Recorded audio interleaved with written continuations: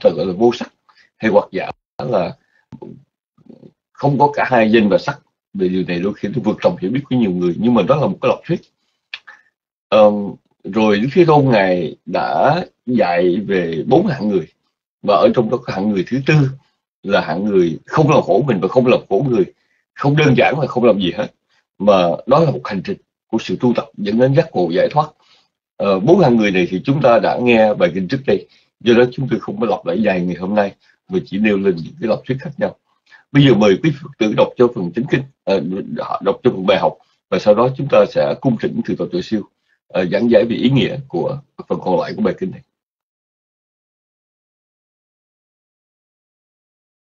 Nam mô Bích Thầy Giá là sa thú chúng con kính tri Thương thượng tọa giác đẳng đã giảng nhập bài học. À, bây giờ thì con xin được đọc chính kinh bài học hôm nay trung bộ kinh bài 60 kinh không thể phủ bán. Tiếp theo.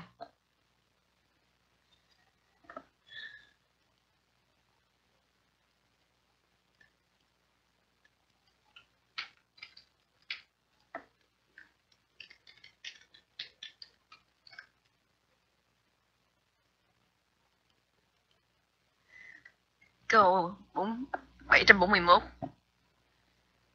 những kiến chấp cực đoan nào những kiến chấp cực đoan nào khác mà Đức Phật đã đề cập tiếp theo tạc kiến trên Đức Phật đã dạy tiếp về cái nhìn cực đoan vốn quen thuộc ở nhiều giáo thuyết ngoại đạo lúc bấy giờ ở mỗi kiến chấp, ngài nêu rõ quan điểm thế nào, quan điểm đối lập và hệ quả giống như phần trên những trích dẫn dưới đây chỉ nêu mô chỉ nên mô tả về quan kiến.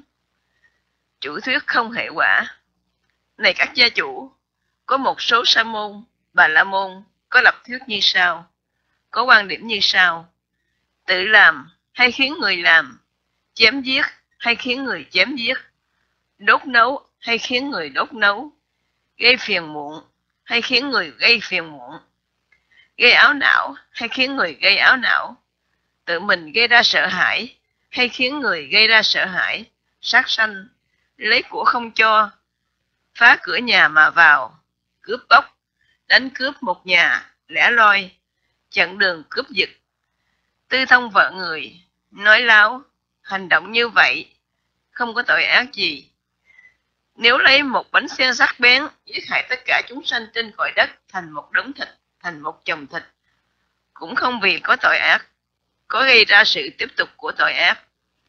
Nếu có người đi trên bờ phía nam sông Hằng, giết hại, tàn sát, chém giết, khiến người chém giết, đốt nấu, khiến người đốt nấu, cũng không vì vậy có tội ác, có gây ra sự tiếp tội ác. Nếu có người đi trên bờ bắc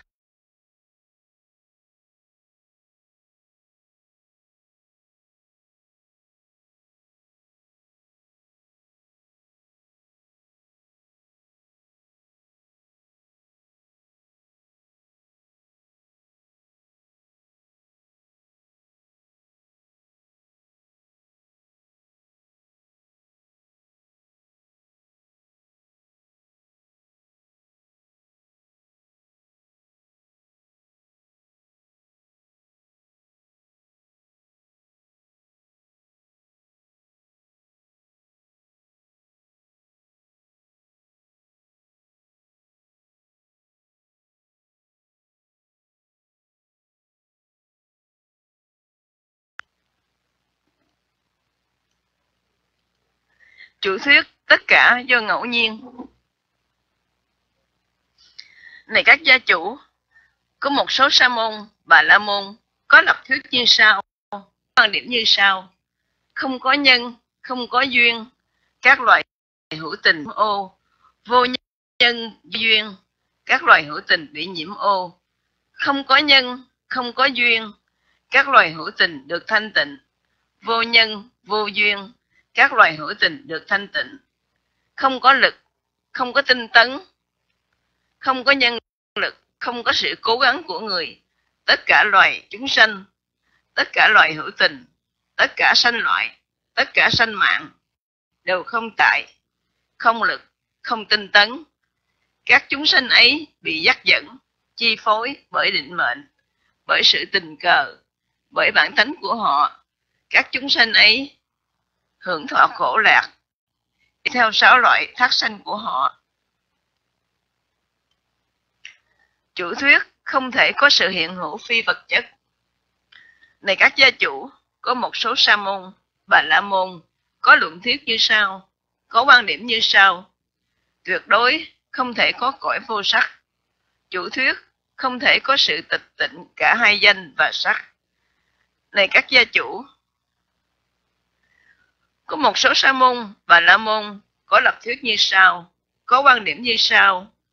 Không thể có một sự hữu diệt toàn diện. 742 quan niệm và sở hành liên hệ thế nào? Do nhận thức tạo sở hành, từ đó tạo nên bốn hạng người. Này các gia chủ, có bốn hạng người này có mặt trong đời, thế nào là bốn? À ở đây này các gia chủ, có người tự hành khổ mình, chuyên tâm tự hành khổ mình.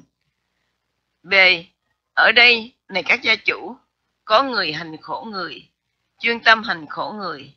C, ở đây này các gia chủ, có người vừa tự hành khổ mình, chuyên tâm hành khổ mình, vừa hành khổ người, chuyên tâm hành khổ người. D, ở đây này các gia chủ có người vừa tự không hành khổ mình, không chuyên tâm tự hành khổ mình. Vừa không hành khổ người, không chuyên tâm hành khổ người. Vị này không tự hành khổ mình, không hành khổ người. Ngay trong hiện tại, không có tham dục, không có khao khát, cảm thấy mát lạnh, cảm giác lạc thọ, tự ngã trú vào phạm thể. Ý nghĩa về bốn hạng người này được giảng giải trong bài kinh trước với chi tiết về hành trình tu tập qua hạng người thứ tư. Vậy là, những bà la môn gia chủ sau khi nghe xong đã có thái độ thế nào? Tất cả đều quan hỷ và phát tâm quy y tam bảo. Chính kinh đến đây đã chấm dứt. Chúng con cung thịnh thực gọi đại siêu từ bi thuyết giảng bài học năm một bích thầy giá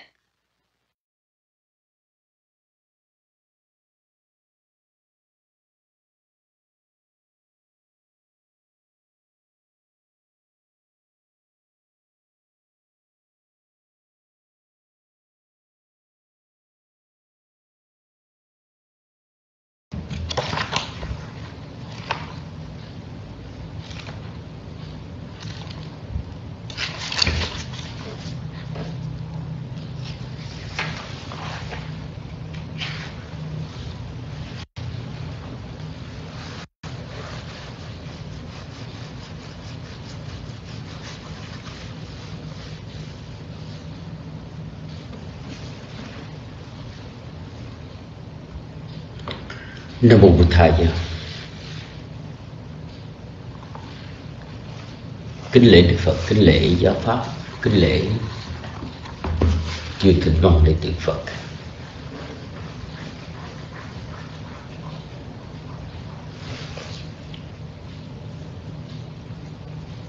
Kính bạch chư tôn đức kính thưa quý Phật tử.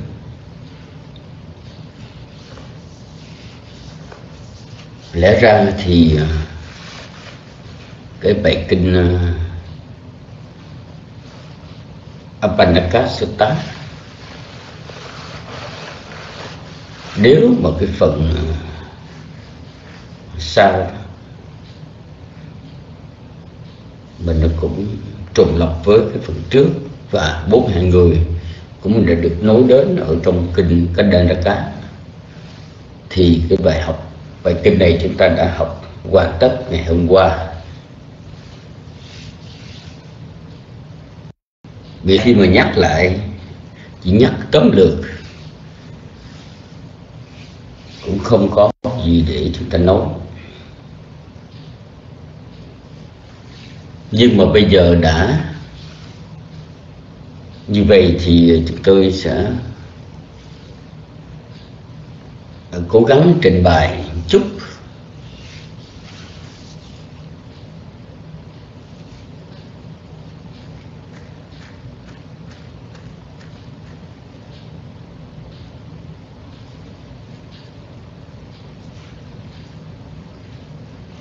Đức Phật trình bày cho các gia chủ ở làng Sala một số quan điểm mâu thuẫn nhau của các sa môn và la môn đương thời. Và ngài dạy một cái pháp môn không thể phủ bác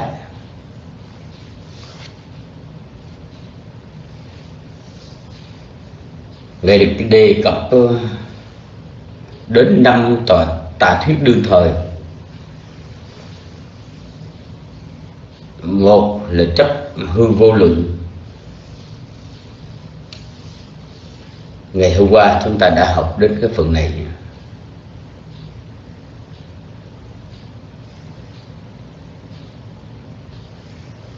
Hai là chấp không có đời sau và quả báo. Ba là chấp không có quả báo khác nghiệp lành dữ. Bốn là thuyết định mệnh vô nhân, không nhân, không duyên, chúng sanh thanh tịnh, vân vân. Năm là không có các cõi vô sắc. Sáu là hỏi quan điểm không có hữu diệt hay là niết bàn chữ pháp quá như rô thả là chỉ trên niết bàn.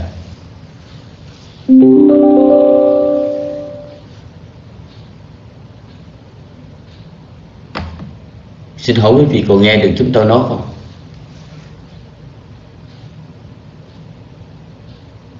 Quý vị, còn nghe được chúng tôi nói không? Ừ, dạ.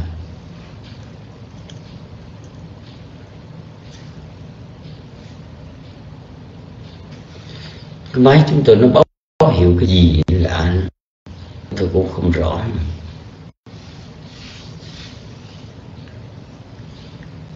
Ở đây à, mỗi chủ trương của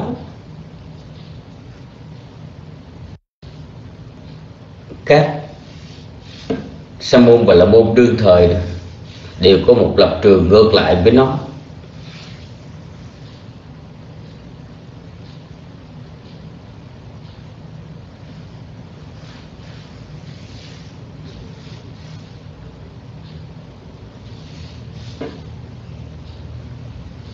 Người mà chủ trương ba thuyết đầu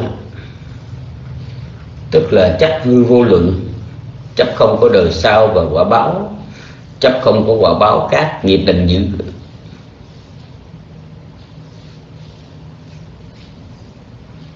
thì có thể từ bỏ ba thiện pháp về thân hành, khẩu hành, ý hành, và thực hành ba cái ác pháp về thân hành, ngữ hành, khẩu hành và ý hành vì họ không thấy sự nguy hiểm hại liệt của bất thiện pháp và lợi ích của thiện pháp.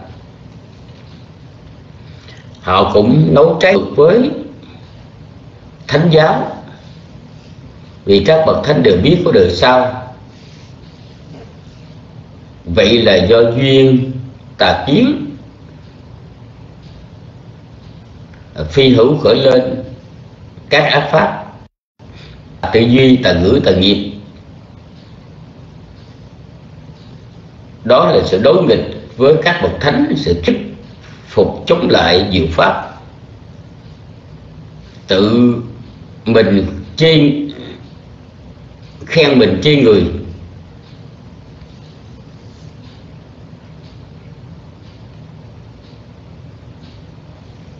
những chủ trương ngược lại, các cái chủ trương trên thì có chánh kiến, và do chánh kiến khởi lên các thiện pháp, chánh tư duy, chánh ngữ, chánh nghiệp. Không đối nghịch với các bậc thánh thuyết phục. Thuận với diệu pháp, không khen bình chê người.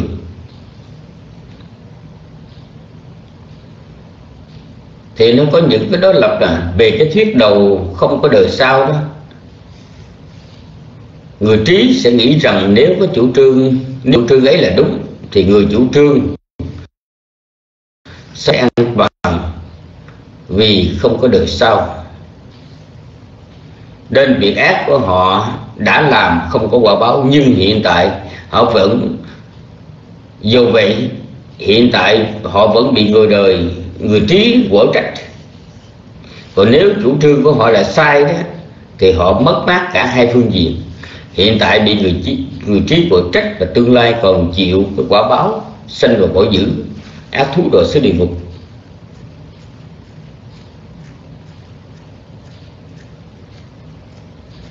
Ngược lại, cái người chủ trương hữu kiến, tức là chấp có, và hành xử tùy theo đó, thì họ được lợi cả hai phương diện. Hiện tại được người trí tán thán và tương lai sinh vào thiện thuốc của trời. Về thuyết thứ hai là vô hành kiến, thuyết thứ ba là vô nhân kiến.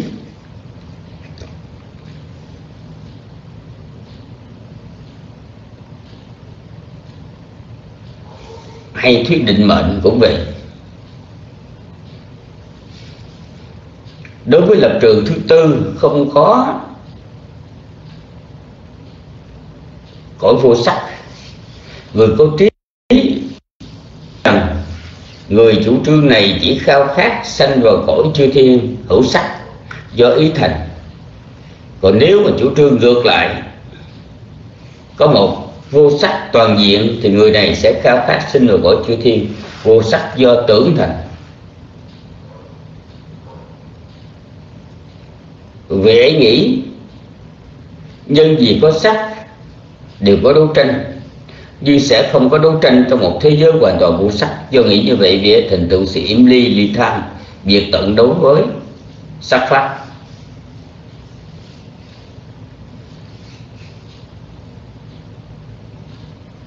Đối với lập trường thứ năm thì không thể có hữu toàn diện.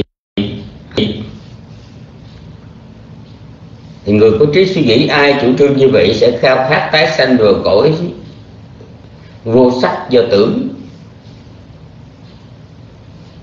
Còn nếu như chủ trương ngược lại, có thể hữu diệt toàn diện, thì thể hy vọng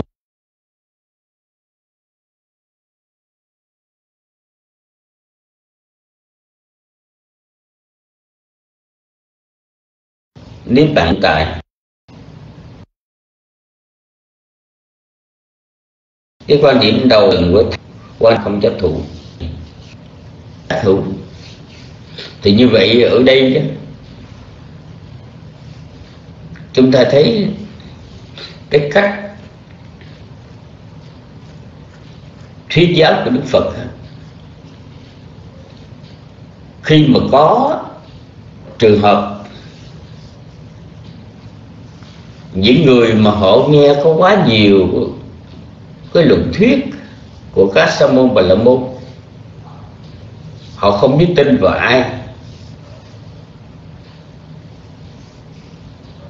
Thì lúc bây giờ đức phật nhân sự tùng sự,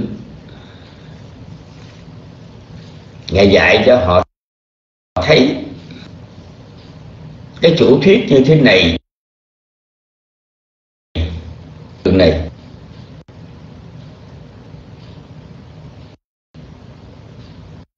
họ sẽ có cái sự đối lập, cái chủ trương đối lập.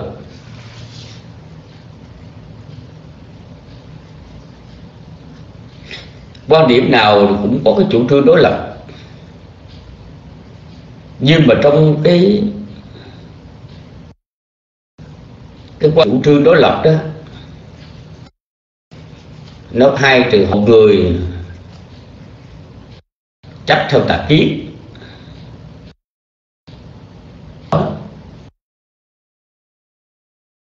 Họ đi sai lệch. Chống trái với giáo lý của thánh. Và họ đã bỏ đi cái cơ hội thiện pháp. Họ làm các ác pháp. Và chính vì cái quan điểm sai lạc của họ đó dù muốn dù không họ cũng khổ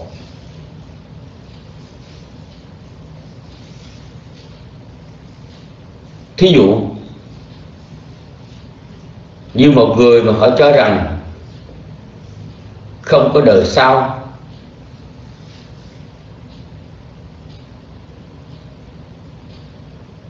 cái chủ trương đó là một sai lầm, một cái tà thuyết sai lạc.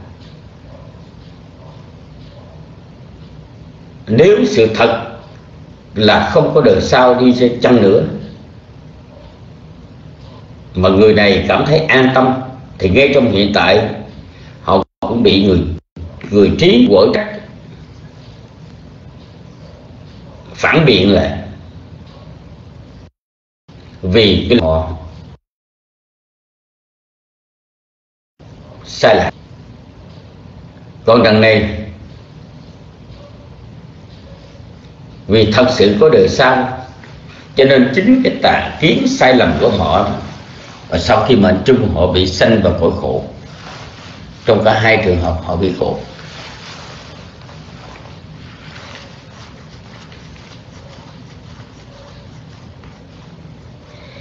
Cho nên ý ở đây đó, khi mà đức phật nêu lên sáu cái chủ trương và tà thuyết của các sa môn và la môn ngay trong hiện tại, thì ngài chỉ cho thấy rằng là họ đã nói một cách sai lạc với chân lý. Và dù muốn dù không thì họ cũng phải chịu một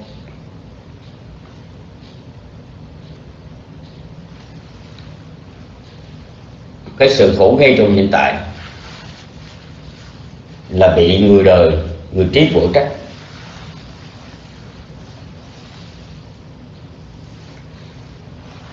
Hoặc là họ sẽ bị khổ cả hai đời đời hiện tại và đời vị lai sau khi tái sanh.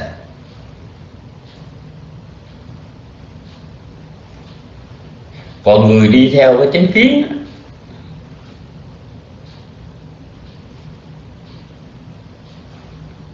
thì cho dù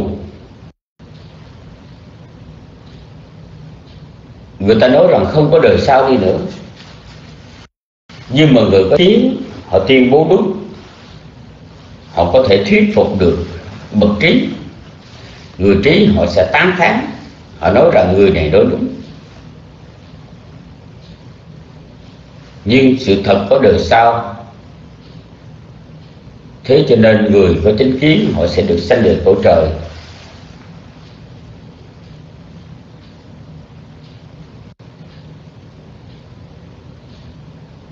Đó là cách mà đức phật này trình bày. Để cho các gia chủ và lâm môn ở Sala họ nhận thức rõ ràng là tự họ phải đánh giá các cái luận thuyết của các trường phái. Cái nào có lợi và cái đầu nó bất lợi. Thì tự họ phải hiểu.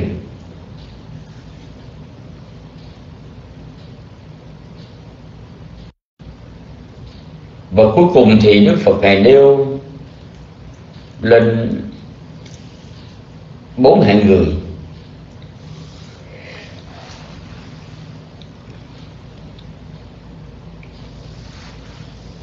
Hạng thứ nhất, tự làm khổ mình, tự hành khổ mình.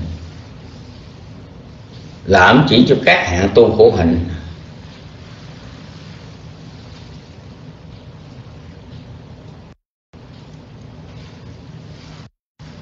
Còn thứ hai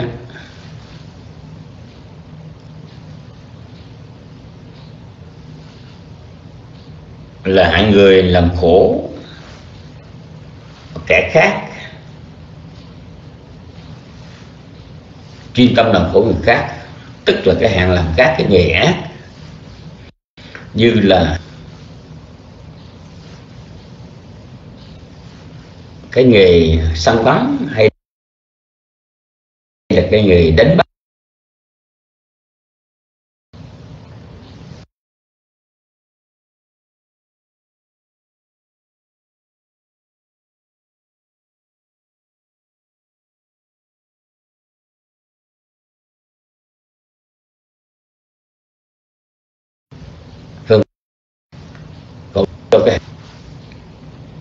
Trong những ngày mà hành lễ, tế đàn, thì chính các vị vua chúa hay bà la môn chủ tế phải ăn chân nằm đất, phải sống với y phục bẩn thỉu ướt đẫm. Đó là tự lòng khổ mình. Và khi mà những vị vua chúa và là môn chủ tế đó, có quyền hành động tay và truyền lệnh cho người khác. Phải bắt bớ, thu đực thu cái hay đồng nam đồng nữ, làm cho cái cảnh những chúng sanh sắp bị hành hình, bị chặt đầu lấy máu thì nó cảm thấy sợ hãi. Như vậy thì trong trường hợp này, các vị vua chúa mà chấp theo cái à, tà giới, ác giới, thì đó là hạng người làm khổ cả hai, tự làm khổ mình và làm khổ người khác. Còn hạng thứ tư là hạng người không làm khổ mình cũng không làm khổ người khác. Tức là một vị a la hán xuất hiện ở đời tự mình không làm khổ mình và cũng không làm khổ người khác. Thật sự đúng nghĩa.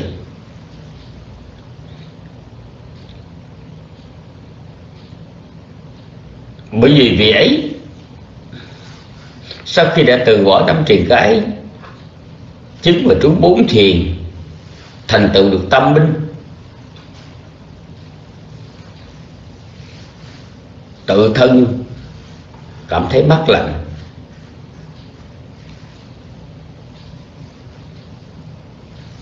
Đó là thật sự là hạng người không làm khổ mình, không làm khổ người khác.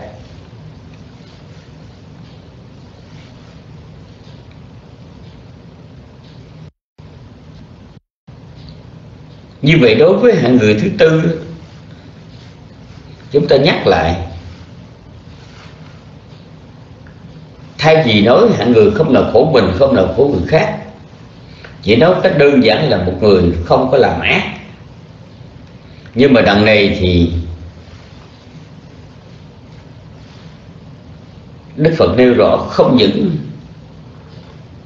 là từ bỏ cái điều ác, mà còn từ bỏ năm cái triền cái nát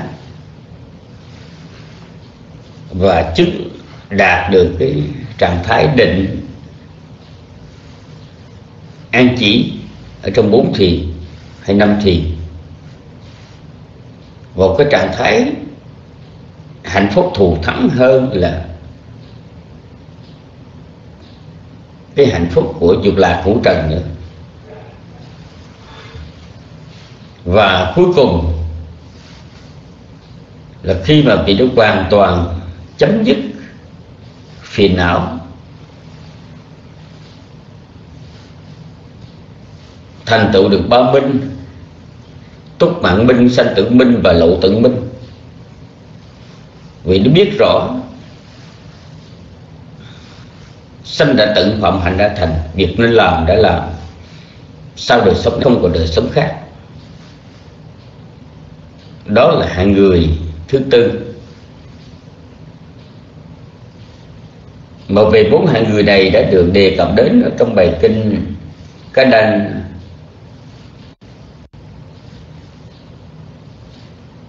Ca Đanh Rakat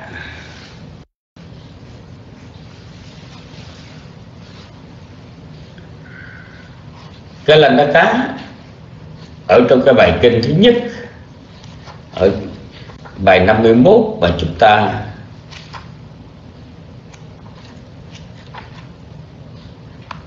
chúng ta vừa học qua đó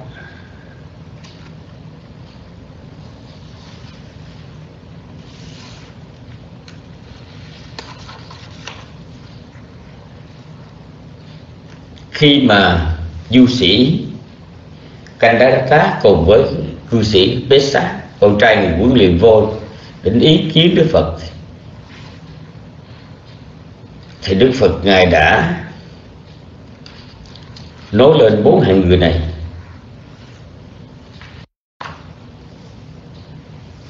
Đỡ trong bài kinh Apanaka Sutta bài kinh không thể phủ bác hay là bài kinh mà trong bản dịch gọi là kinh không gì chuyển hướng. Đức Thế Tôn ngài đã lặp lại.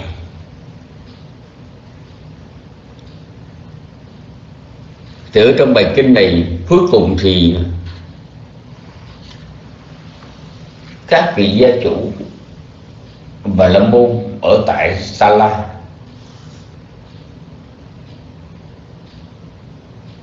rất quan hỷ. Lãnh hội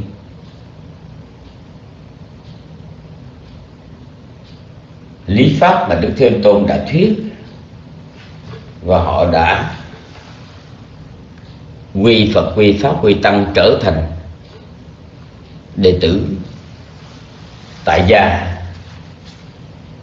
của Đức Phật.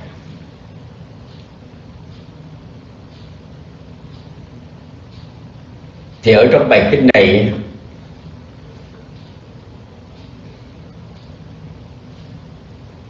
dạy chúng ta nhớ một điều là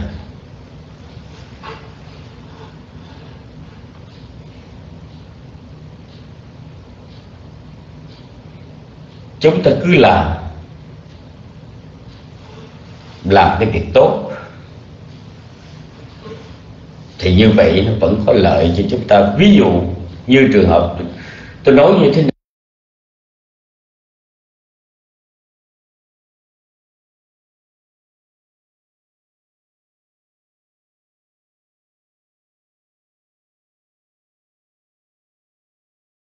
Tôi nói rằng là người thân đã chết, người thân chết đã tái sanh vào những cái cảnh giới như là loài thú hoặc là những cảnh giới nhân loại hay cảnh giới địa ngục. Thì làm sao mà mình làm phước? Làm sao có thể hồi, hồi hướng phước cho họ được? Họ đâu có nhận được đâu. Nhưng ở đây quý vị nhớ chúng ta có cần gì để mà chúng ta suy nghĩ điều đó? Nếu mà chúng ta suy nghĩ như vậy là chúng ta đã đánh mất cái cơ hội tạo phước. Bây giờ chúng ta cứ việc làm bằng một cái tác ý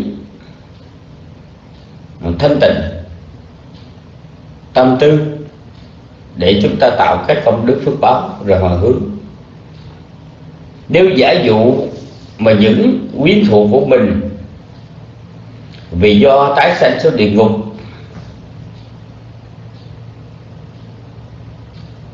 không thể lãnh thọ được cái phước hồi hướng, hay là làm cái loài loài người ở trong thai bào mẹ, hiện đang ở thai bào mẹ, hoặc là cái loài bàn xanh thì họ cũng không lãnh thọ được. Cho dù là như vậy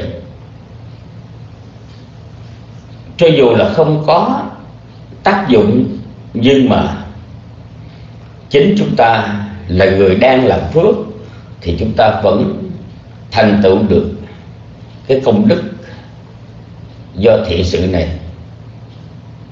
Chúng ta cũng có lợi. Cũng thế, khi một người họ không hiểu, họ cố gắng họ suy nghĩ không có đời sau, không có hành vi à, không có quả báo của hành vi thiện ác.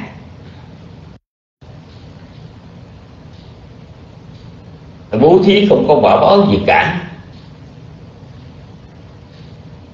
Họ suy nghĩ như vậy để họ cảm thấy an tâm khi họ làm điều ác.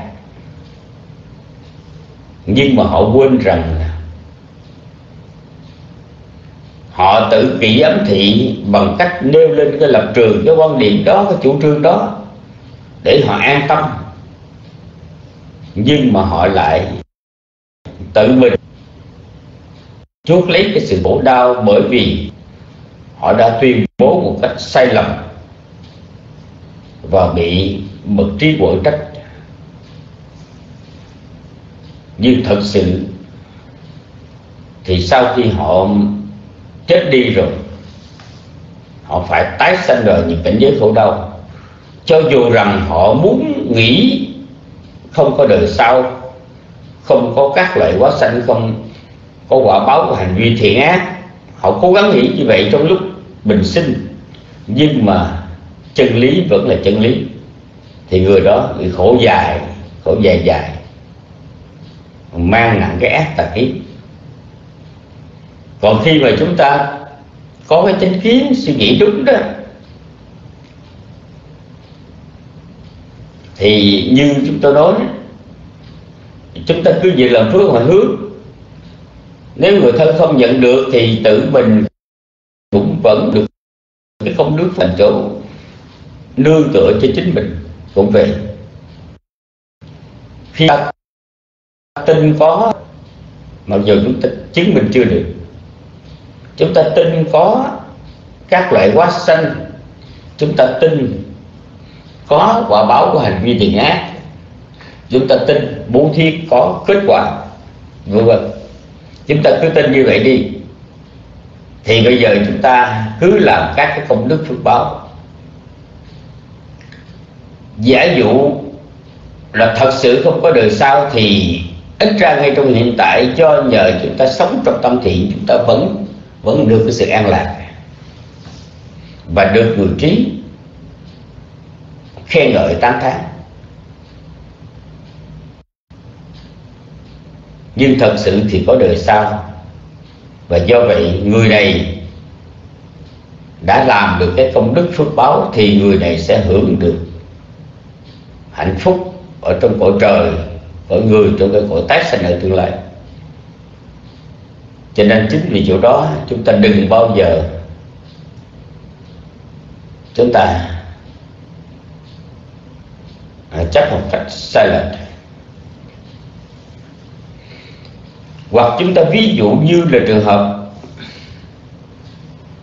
chúng ta ví dụ như một người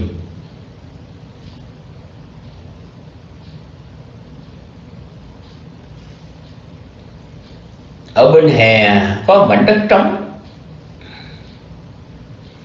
dù cho thiên hạ họ nói rằng là cái thửa đất ở bên hè,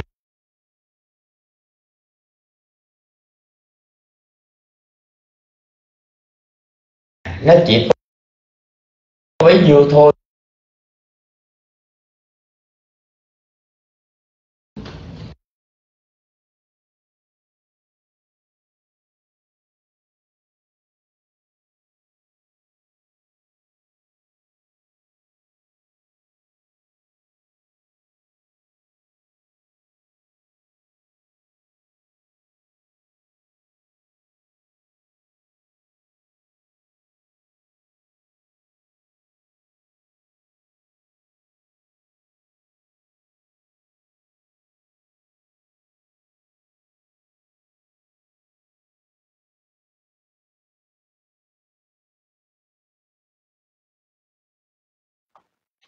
Và thì tôi siêu thử tỏ khi cầm biết lại trong trong không còn nghe được nữa. Xin trình tỏ khi cầm biết lại.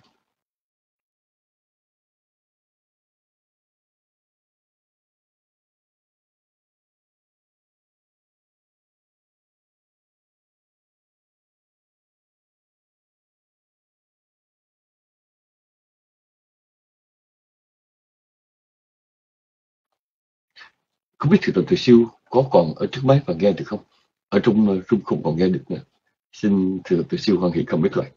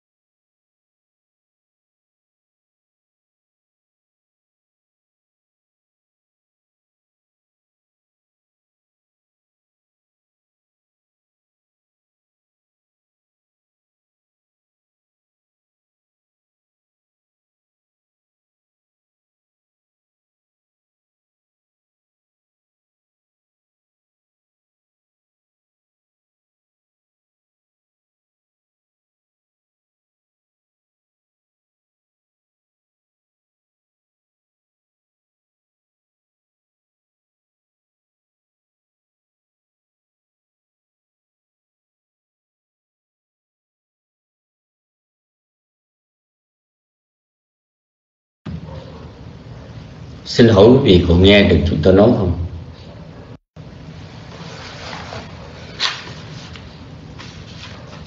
Cái đường nét của chúng tôi nó làm cho chúng tôi mất hứng rồi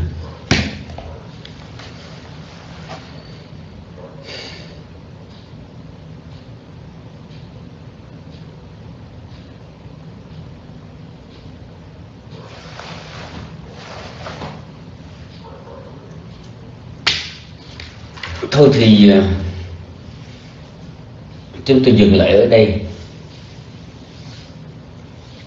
Không có tiếp tục giảng nữa. Cũng chỉ là trình bày những cái thí dụ ở trong cái cuộc sống của chúng ta để cho chúng ta hiểu được cái ý nghĩa của cái bài kinh này thôi. Nhưng mà Van Thoát, nó không muốn cho chúng tôi giảng nữa. Thì chúng tôi dứt lời ở đây. Cũng còn quá sớm, nhưng mà để cái thời gian cho chư tăng. Thảo luận. Hôm nay có thượng tọa pháp đăng, có đại đức pháp tính, có sư nguyên thông và chút xíu nữa chúng tôi sẽ trở lại để nghe, để xem của quý vị, các vị giảng sư nói chuyện chúng tôi nghe tốt hay không. Chúng tôi sẽ chỉnh sửa lại cái cái đường nét của chúng tôi rồi đó. Xin kính thỉnh thượng tọa giáo đẳng trở lại điều học nam mô bích thầy.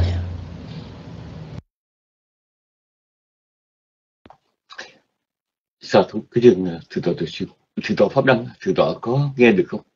Nếu sư tổ hợp đăng đang ở trước máy xin thỉnh sư tổ hợp đăng trả lời cho câu à, thảo luận số 1 dạ yeah.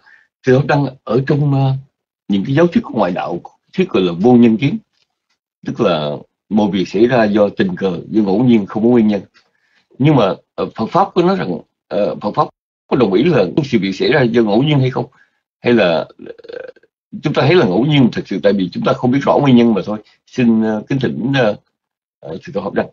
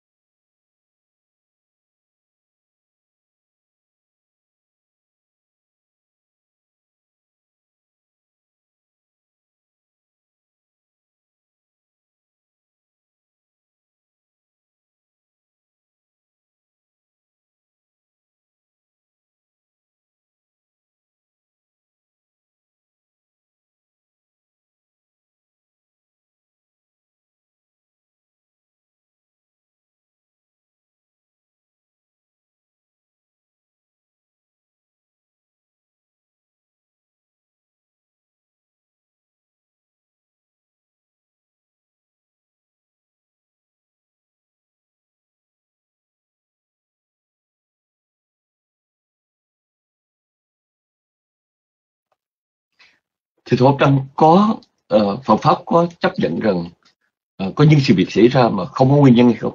Tức là uh, nó xảy ra chỉ là do tình cờ xảy ra ngẫu nhiên mà thôi. Xin kính thỉnh thượng tọa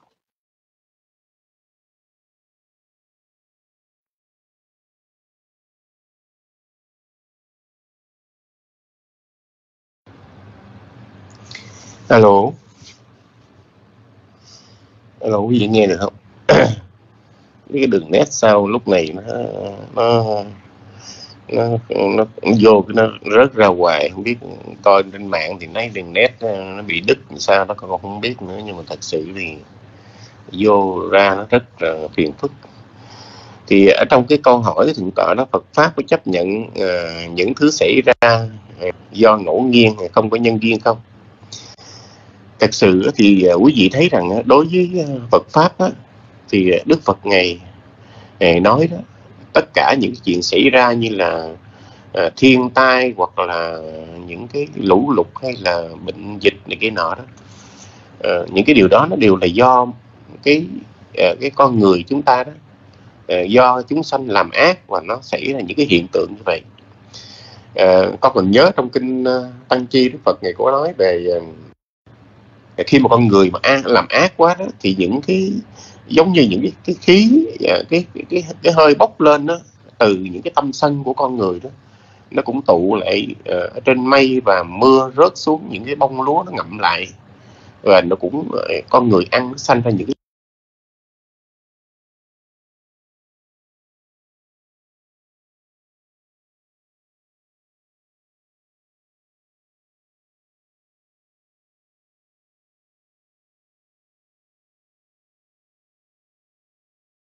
chứng bệnh là quý vị con người cái trên giống như nói rằng một cái cái khí bụi mà nó bay lên làm cho cái người ở trên khó chịu vậy đó thì chư thiên mà khi mà con người làm ác á, chư thiên họ cũng uh, họ cũng uh, thấy khó chịu khó chịu với những cái sân hận với những cái ác tâm của chúng sanh đó.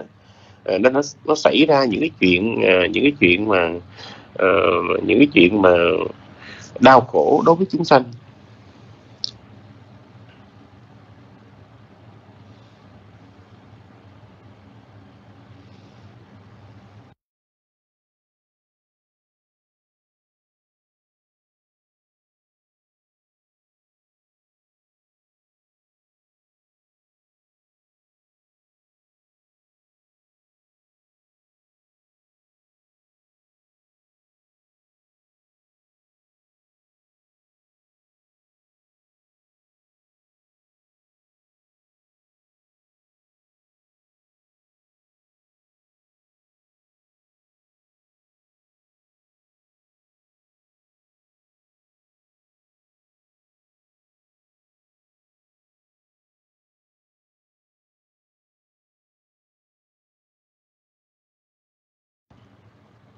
alo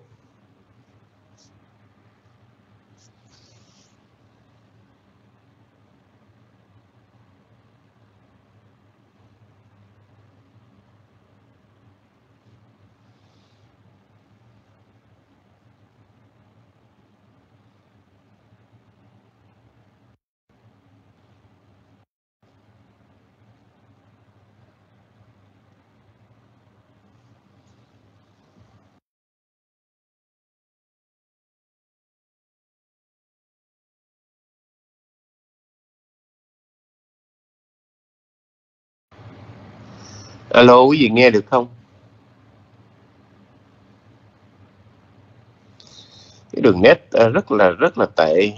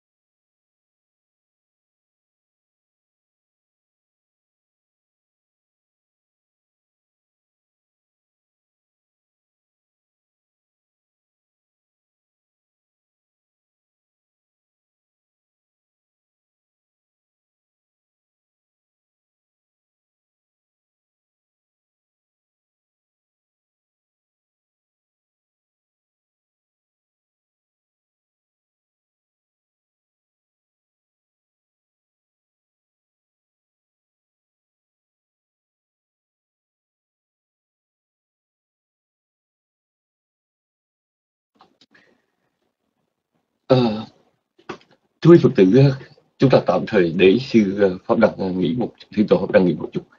Ờ, không biết uh, đại lý Phúc Tính, đại lý Phúc Tính có mặt ở trước máy không?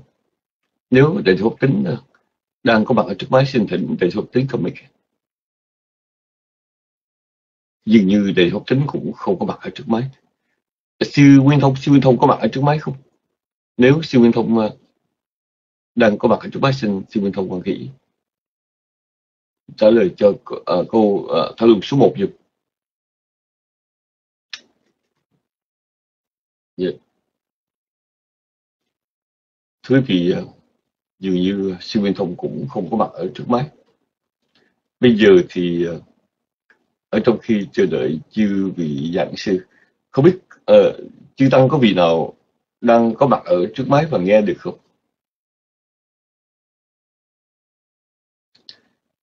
chúng tôi xin được uh, uh, trả lời cho xong cái, cái câu pháp đăng như vậy là uh, uh, đúng là trong cuộc sống có nhiều việc mà chúng ta gọi là rất là tình cờ. Uh, tình cờ xảy ra chuyện gì đó. Yeah. Thí dụ như một người có mặt ở trong cái chợ và trong lúc đó có một người cuồng sát. Họ đi đã đi vào chợ họ xả súng và bắn chết. Thì người đó với cái người mà xả súng bắn thật ra không ân quán và cũng không quen biết gì với nhau hết. Mà mình tình cờ có mặt uh, ở tại một cái nơi nào đó và chuyện nó xảy ra như vậy. Đó là cái nhìn của chúng ta. Nhưng mà trong Phật pháp thì thật ra không phải là tình cờ mà nó do cái nhân quá khứ. Hoặc là chúng ta uh, thấy được hoặc giả là chúng ta không thấy được thôi. Uh, chúng ta trong cuộc đời này uh, thưa quý vị nó có những cái mà chúng ta gọi là chiêu cảm.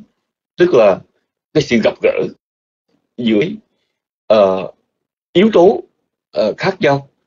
Ờ, ba trăm bốn trăm người đi trên một chuyến máy bay và chuyến máy bay rớt ba bốn trăm người đó họ có cái cộng nghiệp. Và cái cộng nghiệp đó vốn chúng ta không có thấy được ở trong quá khứ. Uh, nhưng mà hiện tại là do cái chiêu cảm của quản nghiệp nên chi họ cùng có cùng mục đích và là đi trên chuyến bay đó. Mặc dù họ đi qua bên kia họ làm nhiều việc khác nhau nhưng mà rồi à, chuyện nó xảy ra nên à, chúng ta thấy dường như là tình cờ nhưng mà kỳ thật thì nó không có tình cờ chút nào. À, sở dĩ mà trong kinh điển Phật giáo thời Đức Phật còn tại thế ngoài những cái bộ ở kinh như là những bộ phận như là uh, uh, khế kinh phúng tụng tự thuyết không có một, một cái bộ kinh gọi là kinh bổn sanh. Bổn sanh tức là Ờ, có một phần kinh điển bộ phận kinh điển gọi là bốn sanh tức là nói về tiền kiếp bởi vì đức phật ngài uh, cũng nhiều lần ngài giải thích là những chúng sanh đó và uh, sự việc xảy ra như vậy không phải là do tình cờ mà là do nghiệp ở trong quá khứ. Về điểm này đó thì đối với chúng ta uh, tuy rằng khó hiểu nhưng mà nhiều người phật tử do cái ảnh hưởng của phật giáo ảnh hưởng kinh điển thì chúng ta tin rằng ồ cái này là do nghiệp của quá khứ. Điều đó nó cũng đi ngược lại cái quan điểm về Ờ, về ngẫu nhiên. Bây giờ thì uh, chúng ta bước qua câu à, thảo luận số 2 à, ờ, bây giờ thấy có siêu nguyên thông và không biết siêu nguyên thông có nghe được không? À, nếu siêu nguyên thông uh, trả lời được xin thỉnh siêu nguyên thông trả lời cho câu thảo luận số 2 dạ. Yeah à, ở đây chúng ta thấy có một cái uh, một cái quan điểm mà chúng ta gọi là vô quả kiết tức là hành vi thiện ác không có quả báo. Nhưng mà um, tại sao vô quả kiết nó lại thường đi với một cái quan điểm mà chúng ta gọi là không có đời sau hay là không có tái sanh không có kiếp sau? Uh, không có kiếp sau và hành vi thiện ác uh, không có báo tại sao nó thường đi chung với nhau? Nó phải đi chung với nhau. Xin uh, tỉnh uh, sư thô quan hỷ giải về điểm này.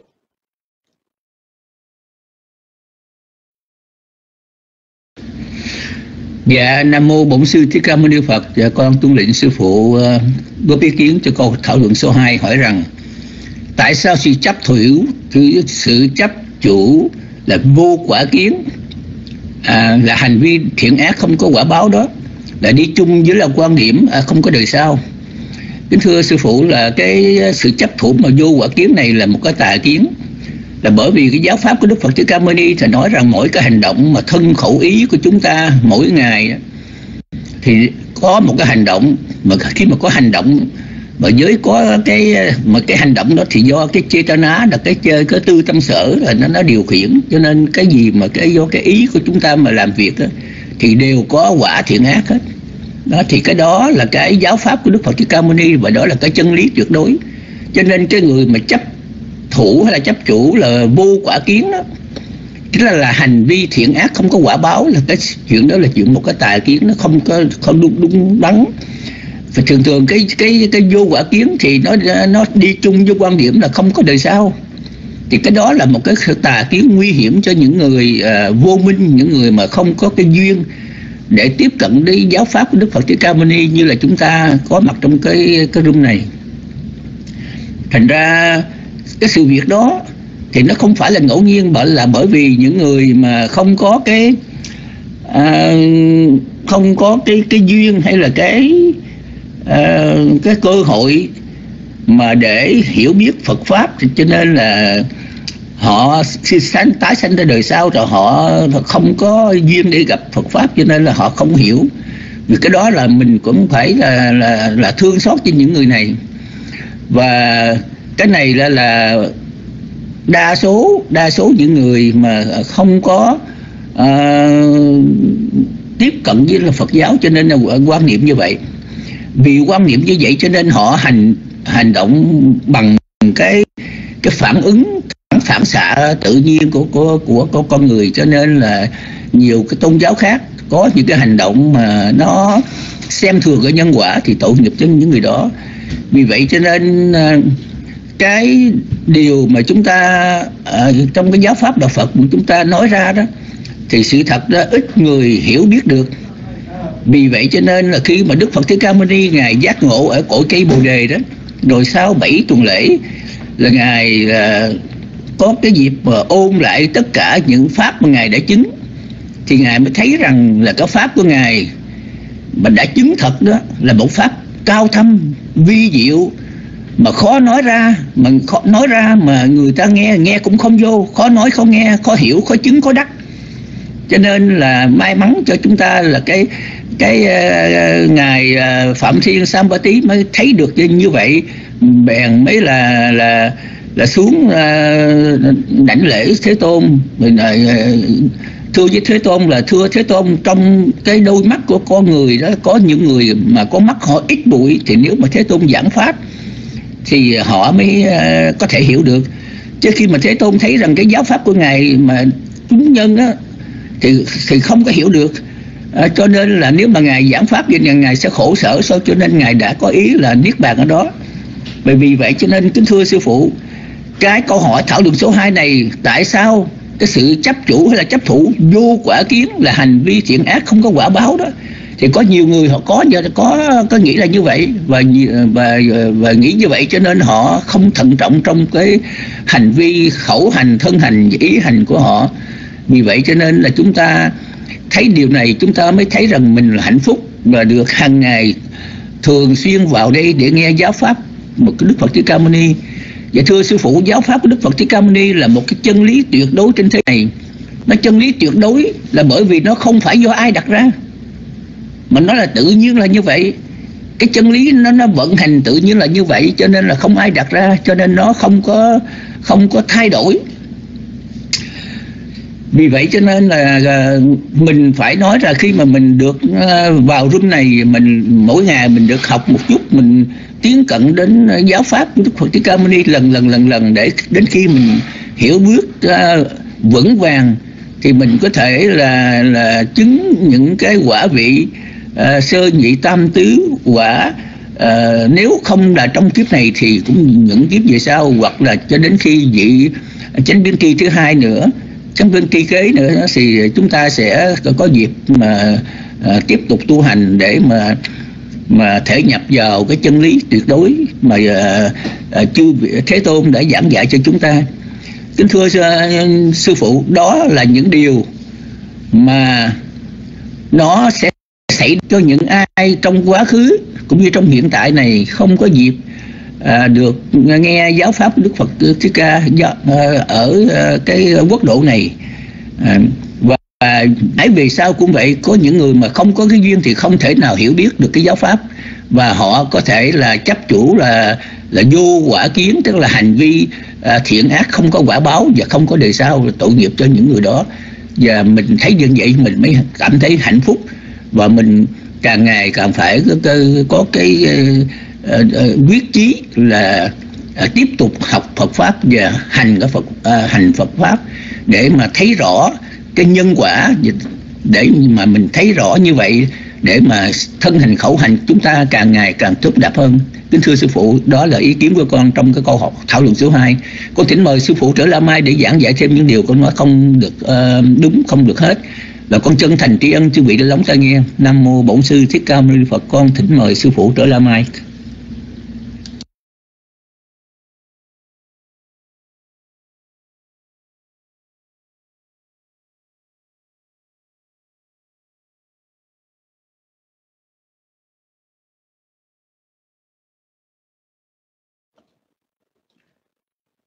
Sa thú sư Trinh, sư Nguyễn Thông Không biết là ờ, định thức pháp tính có mặt ở trước máy không?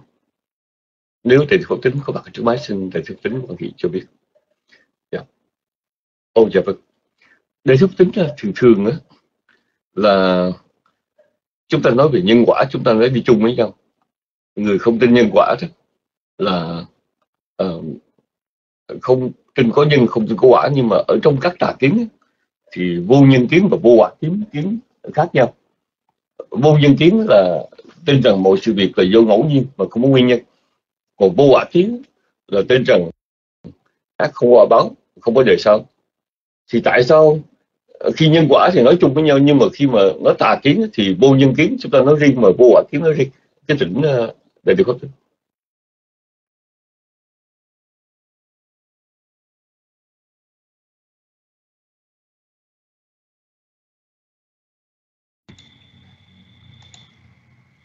Nam mô Bích Tà Giá. Con à, xin thành kính đánh lễ đến à, Thượng tọa Giác Đẳng Thượng tọa Pháp Đăng Thượng tọa Minh Hành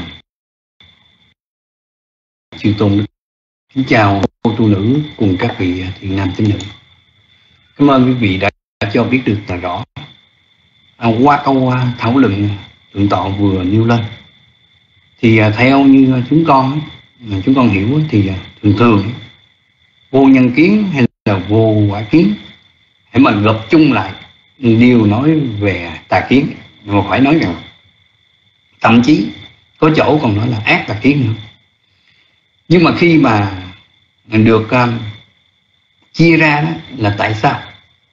Tại vì uh, thứ nhất á, có những vị khi mà chứng thiền hoặc là các vị đó do cái duyên gì đó. Ra cái vị này à, không tìm được cái nhân không tìm được cái nhân. Hoặc là có thấy nhưng mà thấy không có đúng. À, thành ra chúng ta gọi là thấy sai. À, cũng như có vị thì à, thấy rằng là mình ở trong cái kiếp vừa rồi là mình à, là một cái người đồ tể.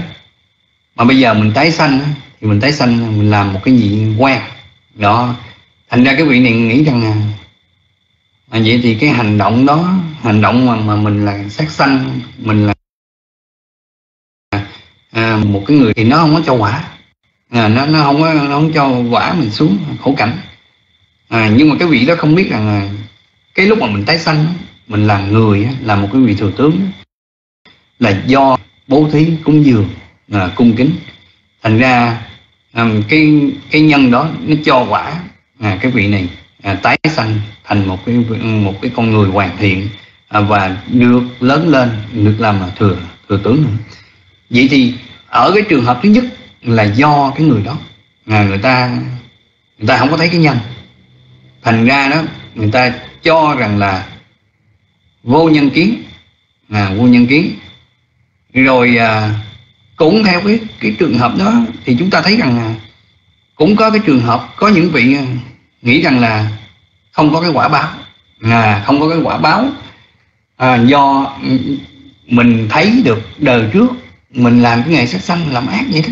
Nhưng mà bây giờ nó à, mình sanh lên thừa tướng vậy mình mình không có bị à, mình không có bị à, đau khổ gì hết.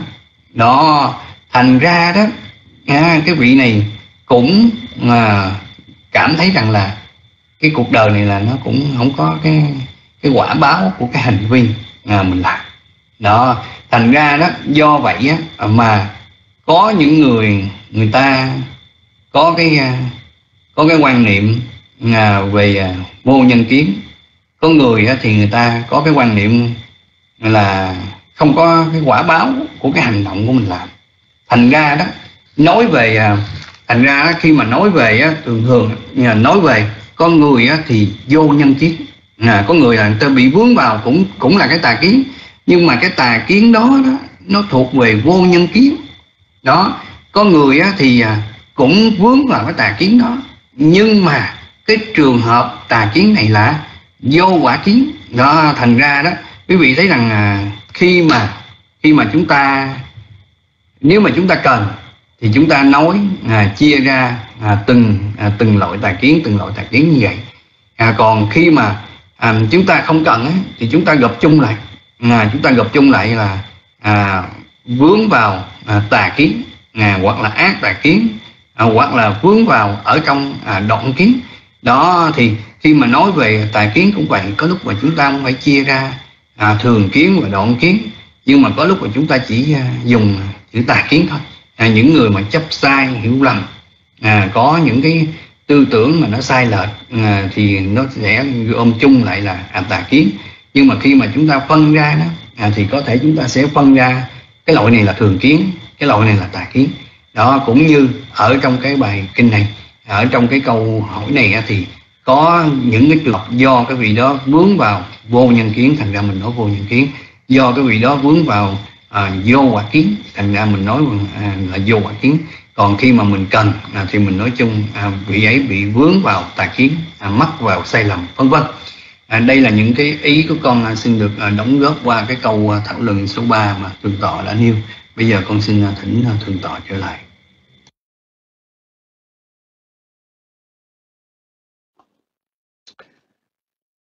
Sa thú kính trường đề cho tính. À, thưa quý vị, à, à hôm nay thì à, chư tăng gặp nhiều trục trặc về ờ, internet. Chứ vì ờ, chúng tôi ờ, xin uh, tiếp lời một đoạn. À, hy vọng uh, sau đó thì chư tăng sẽ trở lại thì chúng ta sẽ có những câu thảo luận và trắc nghiệm. Thứ nhất thì uh, chúng ta phải nói rằng uh, con người khi mà nhìn vào hành động đó thì có vẻ như là à, hành động chỉ là hành động. À, nó không liên quan đến cái à, quan điểm về à, chúng ta nói về nhân sinh quan về cuộc sống nhiều. Nhưng mà kỳ thực là à, đa phần những cái hành động của chúng ta nó đều dựa trên một số cái quan điểm. À, cái quan điểm gọi là tư kiến hay là đôi khi là kiến chấp lấy ví dụ như là người ta nói trong những cuộc thảm sát lớn như là Stalin ông đã từng giết hơn 50 triệu người Nga hay là Mao Trạch-đông từng giết hơn 50 triệu người Trung Quốc ở trong cuộc cách mạng văn hóa và những cuộc cách mạng khác.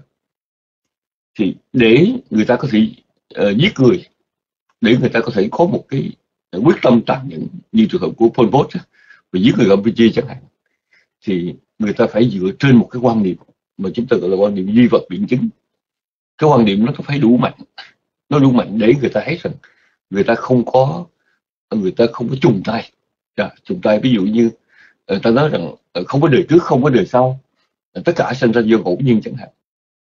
Ờ, mình tưởng tượng là một người có thể đem cha mẹ mình ra đấu tố và giết cha mẹ mình để uh, chứng minh điều gì đó thì người đó họ phải dựa trên một cái quan niệm rất là uh, là duy vật rất uh, là không có tin nhân quả chẳng hạn. Rồi uh, chúng ta nói như vậy chúng ta nói đại khái bên ngoài là cái niềm tin tạo ra nhưng mà khi mà đi vào đó thì uh, thưa quý vị cái chính cái cái niềm tin đó, nó tạo ra cho chúng ta có được cái uh, uh, cái cái luận cứ hay luận điểm một cơ sở nào đó một cơ sở mà thay vì nói chung nhân quả ví dụ như là người Việt Nam bây giờ chúng ta hay nói là hên xui à, hỏi làm chuyện chuyện đó không hên xui hay là uh, liệu học hành có tốt không đó là hên xui. Thì trong quan niệm hên xui đó nó nó nó là một cái nói đùa một câu nói nhưng mà uh, ở một mặt nào đó nó cũng đi với trường hợp ngẫu nhiên. Và ngẫu nhiên là mình làm được á là cũng hên xui mà mình làm thất bại cũng là hên xui. Và cái được và cái thất bại mà hên xui đó thì có nghĩa là không phải tại tôi mà tại tình cờ. Dạ. Thì uh, chúng thấy uh, giả sử như là bây giờ mình nói một cái kinh tế quốc gia hay là một cái xã hội uh, giàu nghèo mà do hên xui có nghĩa là là mình cứ nghĩ rằng ô ờ, tại vì hên xui thôi nhưng mà kỳ thật thì những quốc gia nào mà họ có cái nền giáo dục tốt những quốc gia nào họ có một nền uh, pháp trị tốt những quốc gia nào mà họ có đầu tư tốt về tương lai về nghiên cứu thì quốc gia đó giàu có thịnh vượng.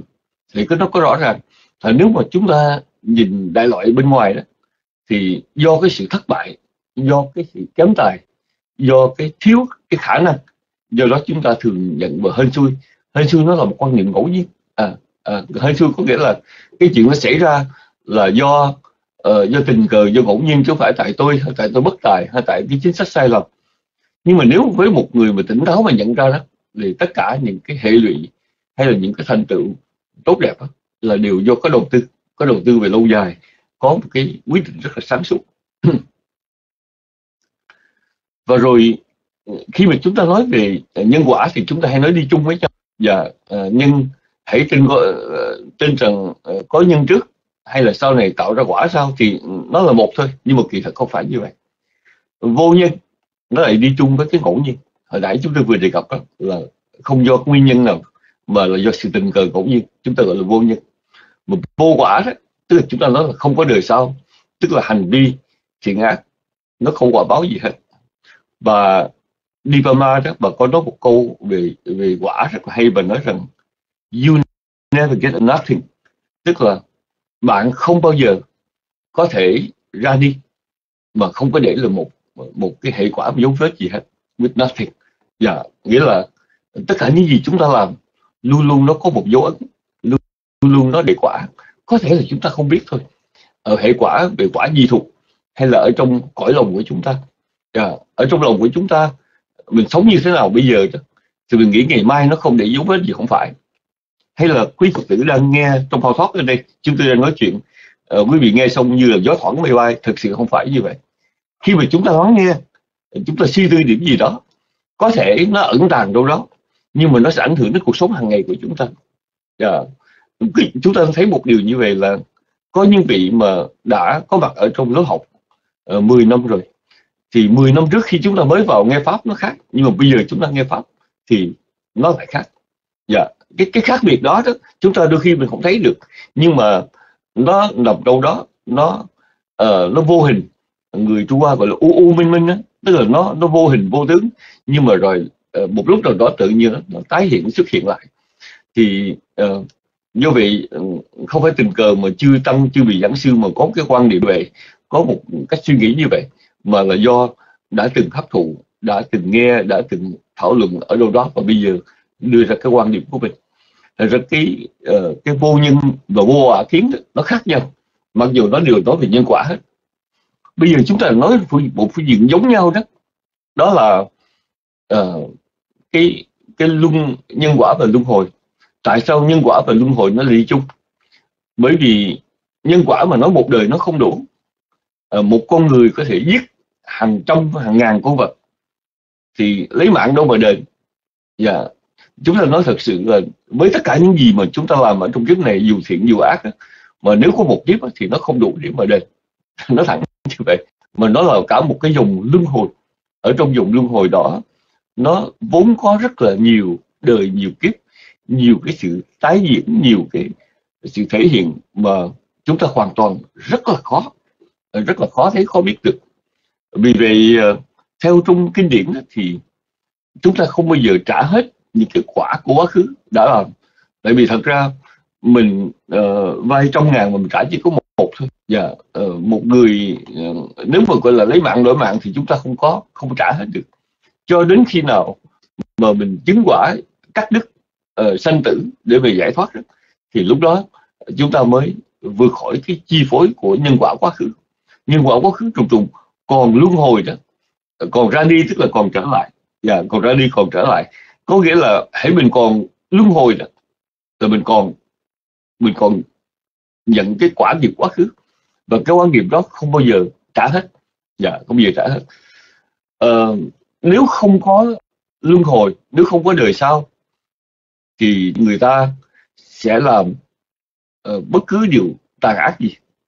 Người ta thấy rằng có những người mà sát nhân mà máu lạnh máu lạnh họ thường thường nghĩ rằng nếu mà luật pháp không có truy lùng được nếu người ta không biết được thì họ sẽ ăn thân một đời. Họ sẽ ăn thân một đời. Tuy nhiên uh, rất hiếm khi có trường hợp một người tạo ác nghiệp mà rốt cuộc rồi thì họ không có bị cái quả ờ, hiện tại. Uh, có những người họ trốn mấy chục năm ở đâu đó rồi cuối cùng uh, vì một lý do do cái nghiệp lực đưa đẩy thì người ta cũng biết được họ à, tuy nhiên cũng có những người mà họ chết đi mà họ chưa trả hết. À, chưa trả đủ những gì họ làm họ làm quá nhiều tội ác thì chúng ta nên hiểu rằng còn có nhiều nhiều kiếp nữa họ phải chịu cái khổ. Vì vậy ờ, khi Đức Phật nói quả của nghiệp là bất khả tư nghị tức là ngài nói về cái một điểm mà nó tạo ra vô số cái hệ quả về sau này. Ở trong bài kinh ngày hôm nay đó thì uh, đặc biệt là có những người uh, họ không tin vào nhân quả. Cũng có những, những người có những cái quan điểm quan điểm chúng ta chúng ta nói uh, sự hiện hữu của uh, và sự hiện thể. Vật thể là thuộc vật chất giống như hình hài như là một mình tay chân của chúng ta như là ở trong kinh Phật gọi là sắc quẩn thuộc về tâm thể tức là chúng ta nói về uh, thọ tưởng hành thức nói về nội tâm. Thì ừ, một số người thì nói rằng không thể nào mà mình hiển hữu mà mình không có vật thể được. Và hoàn toàn không vật thể chỉ có phần tâm thôi. Tại vì chúng ta quen nhìn như vậy. Và chúng ta quen nhìn. À, ở đây ờ, là một cái chuyện cũng tương đối rất là khó để chúng ta uh, nghĩ về cảnh trời vô sắc. Uh, vô sắc là những cái cõi phạm thiên mà chỉ có trong chỉ có chỉ có dân quẩn mà không có sắc quẩn hay hoặc giả là có những cõi trời chỉ có sắc quẩn mà không có dân quẩn như cõi trời vô tưởng. À, hoặc giả là ở trong cái trạng thái tịch tịnh tịch tịnh hay tịch nhiên nghĩa là không có cả danh lẫn sắc.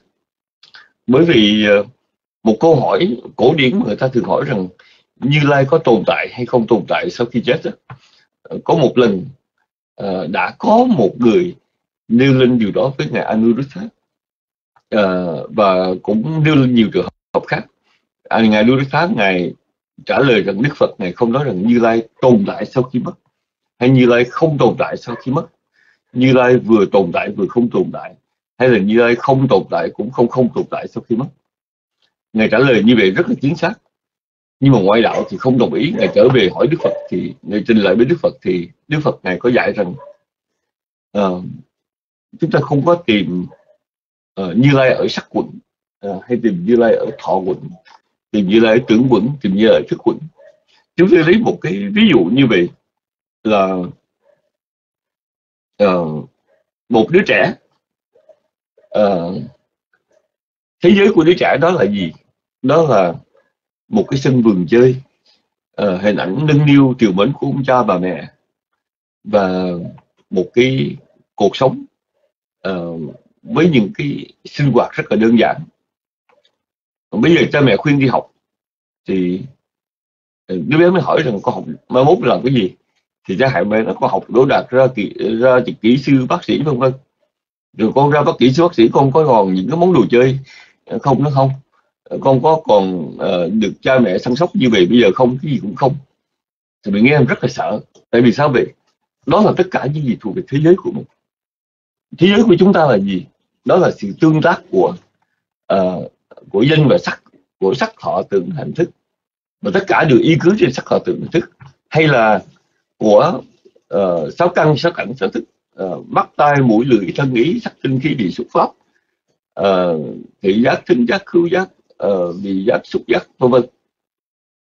Thì một khi mà cuộc sống của chúng ta chỉ có chừng đó và quả thực hiện tại nó có chừng đó thôi bỏ rằng nó không có những thứ đó, thì chúng ta ra sẽ ra sao?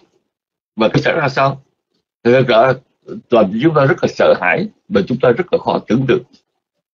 Ngay cả một cái chuyện rất là bình thường. Đức Phật kể dạy rằng cái sự chấp thủ về cái ta, cái của ta, cái là ta, cái tự ngã của ta đó, nó là điều làm chúng ta đau khổ. Nhưng mà với chúng ta thì, thưa quý vị, những điều đó không có thì chúng ta chúng ta không hạnh phúc. Chúng ta nghĩ như vậy hầu hết nghĩ là không có cái là ta là của ta tự ngã của ta mình không hạnh phúc.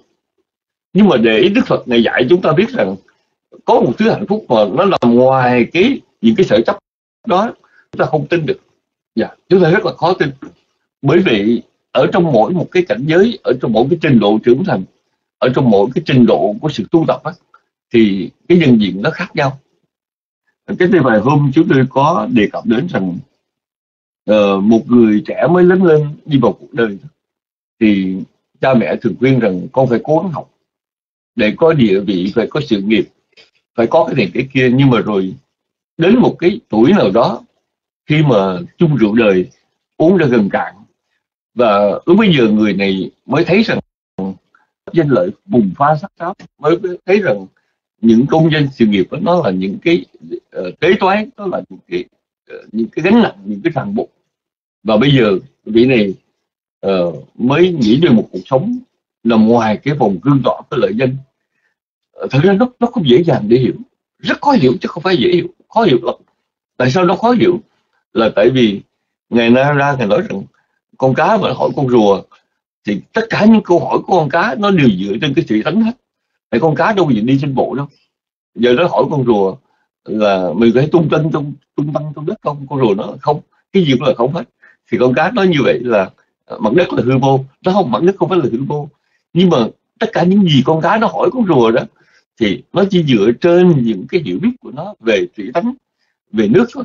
Và bây giờ con rùa nói về một một cái mà nó hoàn toàn không có liên hệ gì đến thủy tánh thì thật sự con con con cá không có hình dung được và do vậy ờ, ở trong cuộc sống này khi mà nói về sự hiện hữu nói về có sắc không danh có danh không sắc ờ, nói về nhất quẩn nói về tứ quẩn ờ, đã là khó rồi đã là khó. Bây giờ mình nghĩ đến một một cái sự hiện hữu mà chỉ có tâm mà không có sắc hoàn toàn không có sắc thì thật ra khó tưởng tượng lắm thưa quý vị. Ngay cả chúng ta thường nghe uh, người ta hay nói về cái linh hồn. Linh hồn ở trong quan niệm nào đó là thần thức. Linh hồn ở trong phương diện nào đó là nó không thuộc vật chất nhưng mà người ta vẫn cố gắng nói rằng uh, linh hồn xuất ra khỏi thể xác. Và quý vị nào coi trong phim ảnh đó thấy rằng có cái bóng mờ mờ từ trong cái thân người đi ra bên ngoài cái đó gọi là linh hồn. Hay có nhiều khi ta là cái ánh sáng. Uh, ánh sáng từ ở trong uh, thân đi ra bên ngoài. Hoặc giả là có một cái gì đó nó xuất ra bên ngoài nó đi từ đến chỗ này chỗ kia. Thì cái gọi là ánh sáng cái làn khói cái gì đó mà nó đi từ trong thân ra thì cái cuối cùng nó thuộc về vật thể chứ không phải thuộc về tâm thể được và dạ. và khi mà hình dung một một cái tâm thể ờ, một cái thành phần phi vật chất mà nó không có hạn cuộc bởi không gian, là lớn, là nhỏ, là dài, là ngắn, là rộng, là hẹp thì chúng ta khó tưởng tượng. Đó, chúng ta nói về tâm thôi. Và yeah. bởi vì ờ, chúng ta quen hình dung là nó bắt buộc là ờ, là cái hiểu của chúng ta dựa như chúng tôi nói cái vị nhiều lần là người tây phương á họ vẽ hình thiên thần thì thường phải có cánh tại vì sao? Vì họ nghĩ thiên thần là bay bây giờ thiên thần không có cánh làm sao bay được. Nhưng mà chúng ta đặt là nếu có cánh mà bay là chim thôi. Mà nếu cần cái cánh mà phải, để bay được chưa phải là thiên thần. Nhưng mà thật ra người ta không nên như vậy. Thiên thần phải có cánh tại vì thiên thần phải bay tại vì cái hình ảnh của bay nó đi chung với hình ảnh có cánh khô cánh làm sao bay được. Thì uh, nói chung là uh, chúng ta bị lẫn quẩn trong cái tưởng đường ở trong tư kiến của chúng ta. Vì vậy khi mà đạo Phật nói đến ba cõi dục giới sắc giới vô sắc giới à, thực ra có vô sắc không phải là dễ dễ suy nghĩ đâu. Yeah. Dạ, hay là ở trong cái diệu pháp nói với cảnh mà cõi ngũ quẩn rồi cõi nhất quẩn rồi cõi tứ quẩn và dạ, ngũ quẩn như là cõi uh, ví dụ cõi cõi dục giới chúng ta hay là một số các cõi trời sắc giới cõi nhất quẩn giống như cõi vô tưởng hay là cõi, cõi tứ quẩn giống như cõi vô sắc chẳng hạn. Thì uh, uh, chúng ta học thì chúng ta có học đó nhưng mà hình dung thì rất là khó hình dung. Và thượng tọa từ siêu đã thấy thượng tọa trở lại không biết là thượng tọa có nghe được không? Nếu thượng tọa từ siêu nghe được thì xin uh, thỉnh thượng tọa khoan hỷ cho biết để uh, thỉnh thượng tọa. Dạ vâng tốt quá. Um, bây giờ thì xin được uh, hỏi thượng từ siêu một điều rằng uh, đa số những cái tà kiến mà Đức Phật ngài đề cập ở tại đây là nói về không tin uh, có nhân tức là không tin có nhân có quả tức là vô nhân kiến vô quả kiến chẳng hạn. Thì uh, những cái niềm tin mà không nhân quả đó nó phải chờ nó liên hệ đến điều mà chúng ta gọi là đoạn kiến. Và tại sao trong bài kinh này đề cập đến đoạn kiến nhiều hơn là thường kiến? À, kính thỉnh thưa Phật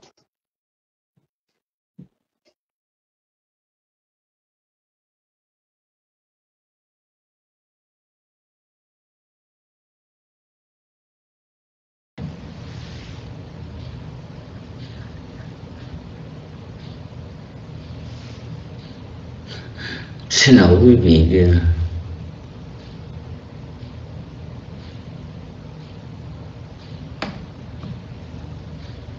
dạ xin cảm ơn quý vị.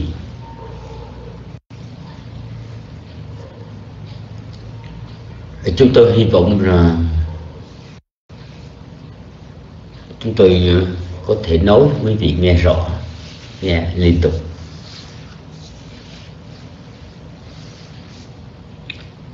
Kính bạch chư tăng, kính thưa quý vị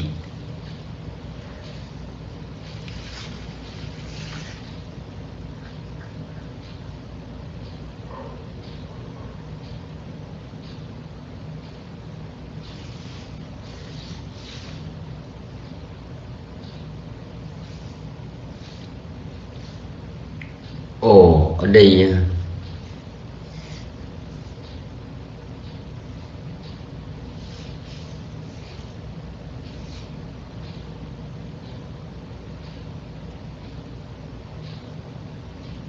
khi nãy chúng tôi nghe cái câu hỏi của thượng tọa Nhật đẳng hỏi thì có khác hơn chút. Bây giờ khi mà thượng tọa viết thành cái câu hỏi thì câu hỏi này nó, nó khác hơn. Cho nên phải trả lời câu hỏi nào đi? Câu hỏi khi nãy thượng tọa hỏi cái ý như thế này là tại sao ở trong cái bài kinh này, đức phật ngài chỉ đề cập đến những cái giáo thuyết vô nhân kiến của quả kiến, không có đời sau, không có các loại quá sanh, chỉ thuộc về đoạn kiến mà không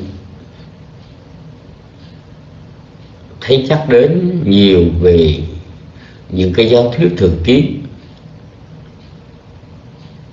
Đó là cái câu hỏi mà thượng tọa hỏi uh,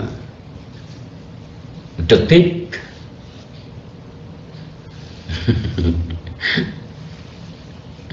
Còn còn trong cái câu hỏi mà tôi mình sẽ đề ghi ra đó thì câu hỏi nó lại cái thế khác. Tại sao những giáo thuyết vô nhân kiến của quả kiến không có đời sau, không có các loại quá sanh, thì nó thuộc về đoạn kiến. Và hệ quả của đoạn kiến khác với hệ quả của tự kiến như thế nào?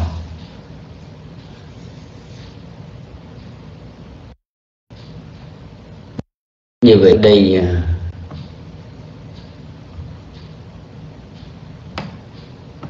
bây giờ trả lời cái câu à,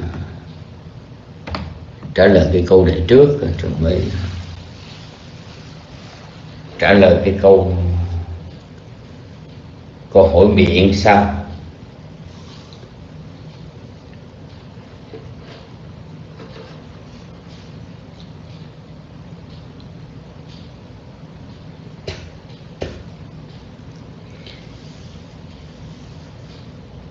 ở đây thưa quý vị những cái giáo thuyết mà cho rằng không có nhân, không có quả, không có đời sau, không có các loại quá sanh, cái đó nó thuộc về phủ nhận. Cái quan phủ nhận hết.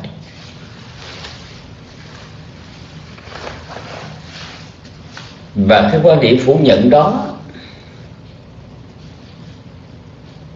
họ chỉ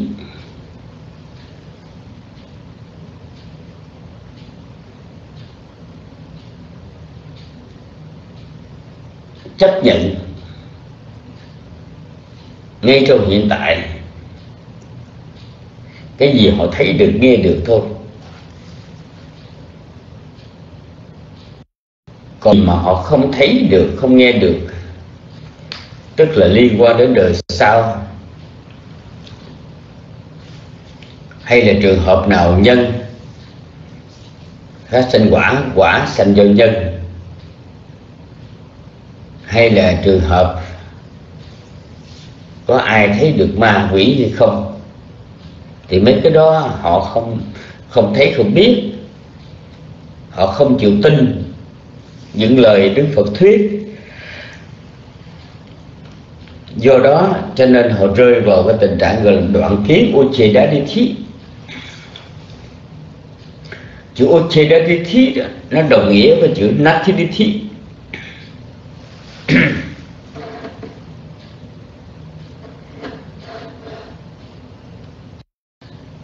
Nghĩa là vô kiến vô kiến đây là vô nhân, vô quả và vô hành.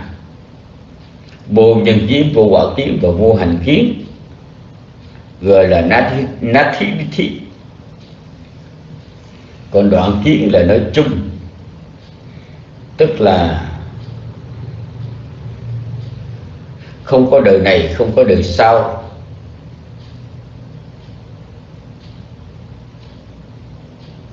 Sau khi chết không có sự tái sanh vân vân thì như vậy, cái đó gọi là Uchedatithi thì bây giờ,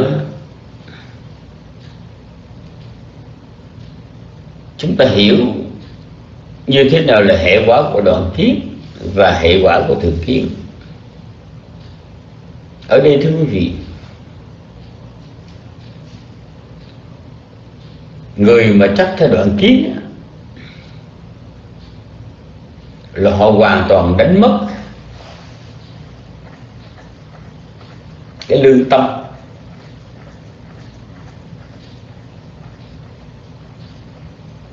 Họ đánh mất đi cái lý trí. Họ không chịu làm cái việc thiện mà họ chỉ biết làm cái việc ác thôi. Vì họ cho rằng là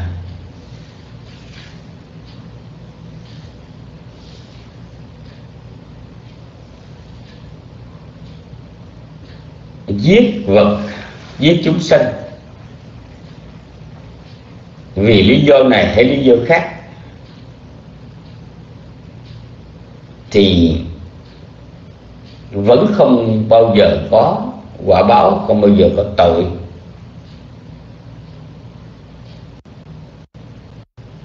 Cho nên, họ sẵn sàng làm và làm một cách không không biết sợ hãi, không biết trùng chân. Chúng ta.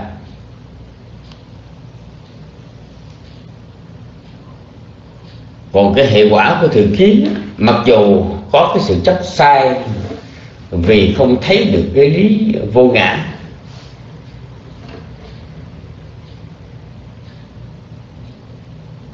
Họ chỉ thấy thường là ngã tịnh, mặc dù đó là đi đảo tri kiến, nhưng nói cho cùng thì họ còn tin.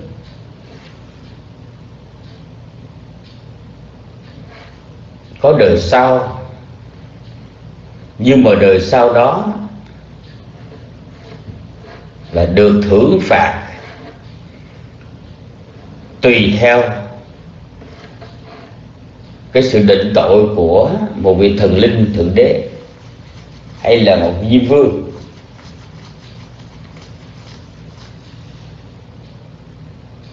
Và chính vì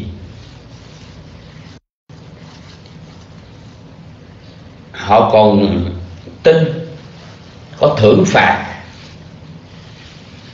Cho nên đối với họ thì họ vẫn làm, có thể làm được các cái công đức, các phước báo. Bởi vì họ cho rằng khi họ làm cái điều tốt, điều thiện đó thì sẽ được ừ, ghi chép.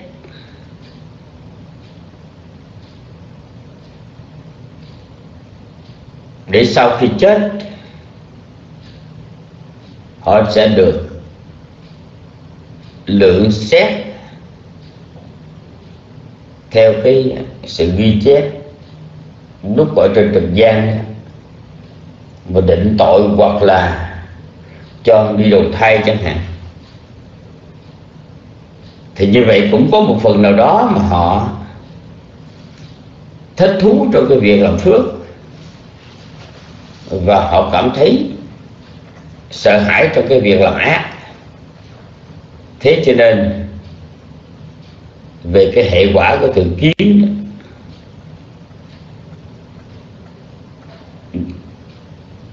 nó vẫn có một cái phần nào đó, nó tốt đẹp hơn là là của đoạn kiến. Đoạn kiến thì rất là nguy hiểm. Người ta có câu ta nói, ninh chấp hưởng như tu tu di mạc chấp vô như giới tử. Thà chấp có tức là thường kiến. Dầu cho cái sự chấp đó, nó to bằng cái núi tu di, cũng đỡ hơn. Chớ đừng có chấp vô, tức là chấp theo đổi kiến. Dù nó nhỏ như là cái hạt cải, như giới tử tức là như hạt cải như vậy cho thấy rằng là đối với thường kiến, nó cũng còn có một cái gì đó mà người ta dễ, người trí họ có thể chấp nhận được. Người trí họ có thể chấp nhận được. Họ có thể khen được. Còn đối với người mà chấp đoạn kiến thì hoàn toàn đáng bị khiển trách. Một người họ chấp thường kiến họ còn có thể hiếu kính cha, hiếu kính mẹ. Họ còn có thể kính trọng khác, sa môn và lâm môn. Họ còn biết bố thí đến những người khác.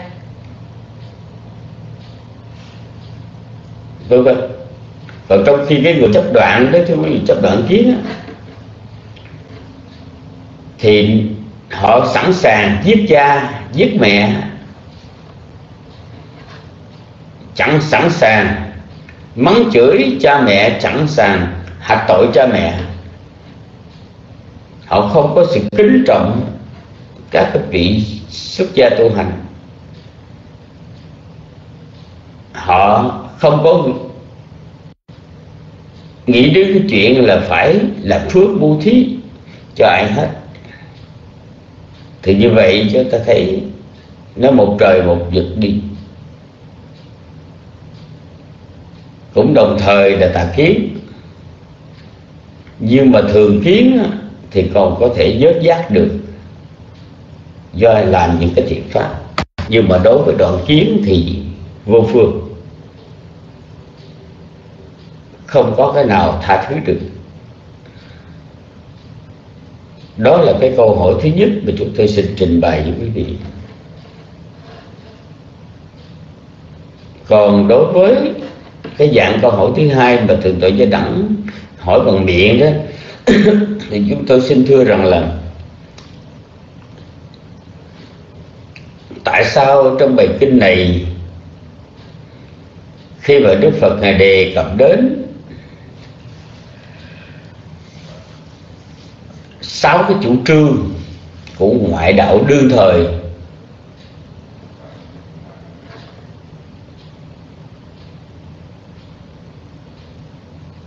Mà trong sáu cái chủ trương đó chương nào, cái thuyết lý nào nó cũng mang cái nét đoạn kiến hết tại sao không thấy đề cập đến thường kiến trong trường hợp này? Ở đây thưa quý vị,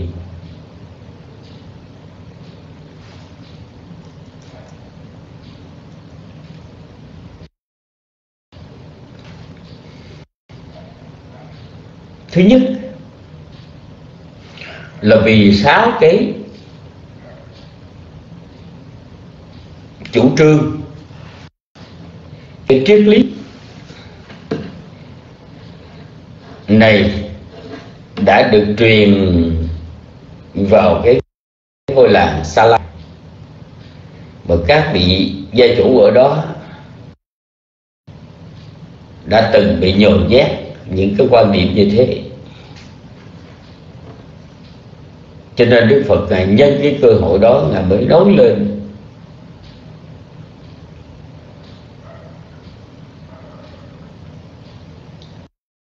cái hệ quả dân chúng đó họ sẽ hiểu liền. Bởi vì họ đang bị nhồi nhét, nhồi sọ bằng sáu cái đoạn kiếm đó.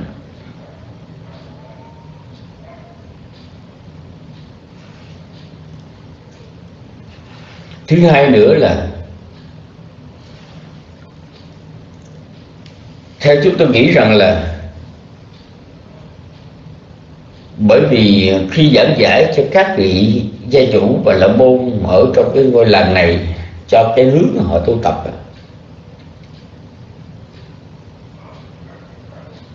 trước hết là đức phật đã phủ nhận đoạn kiến, bởi đoạn kiến nó nguy hiểm hơn.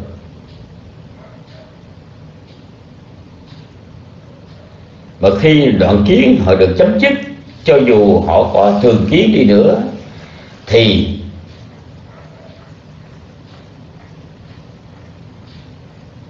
khi mà đắc bả sơ quả tu được vườn thì lúc bây giờ cái thường ký nó không còn. Ở đây chúng ta nhớ, một người mà có ác tà kiến, tức là đoạn kiến, thì người đó không đắc được đầu quả. Ngay trong hiện tại này, nhưng mà người có thường kiến thì họ vẫn có thể, nếu như họ chịu chỉnh sửa chút xíu thì họ có thể đắc quả tu đường quần tư đại hạ vân vân bởi vì đối với thường kiến thì họ họ chuyển qua cái chánh kiến dễ hơn là đối với vượt có đoạn kiến. Vì vậy cho nên ở trong bài kinh này, đức phật này đề cập đến vấn đề đoạn kiến nhiều hơn không có nói đến thường kiến chúng tôi xin được trả lời cái câu hỏi thảo luận số 4 mà thượng tọa chất đẳng vừa nêu nam mô bổn thầy.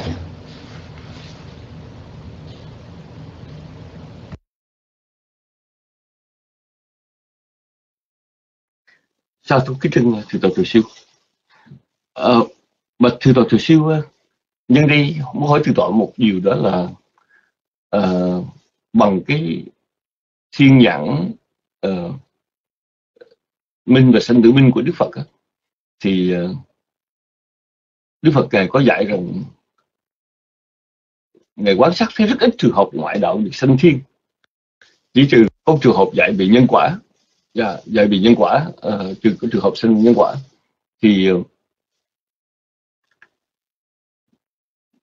cái quan niệm về nhân quả đó uh, nó quan trọng như thế nào ở trong đời sống của chúng ta?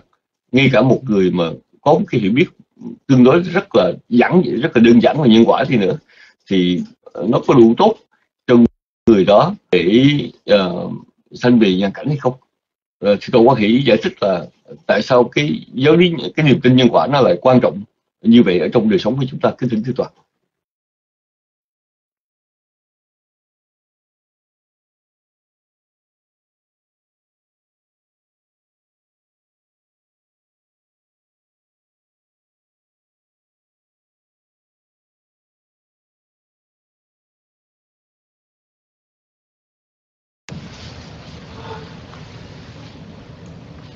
Kính bạch chư tân cái thương vị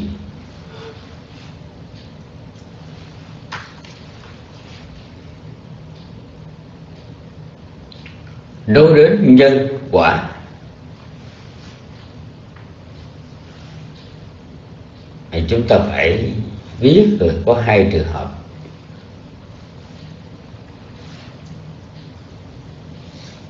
Mỗi mỗi một việc gì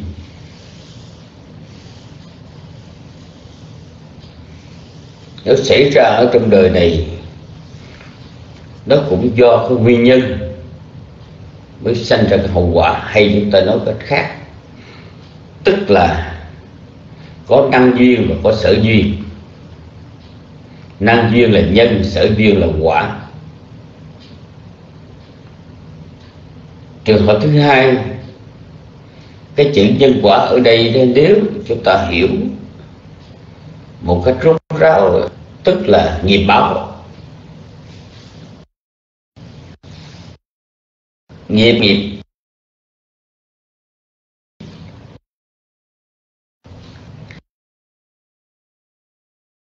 Thì bây một người mà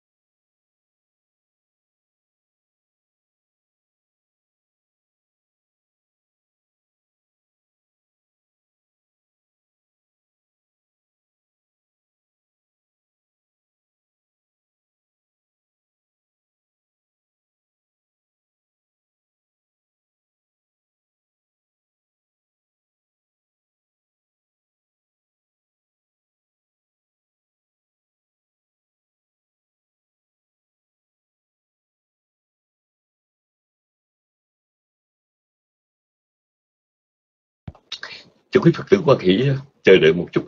Chừng như sư đoàn siêu đang gặp thuộc.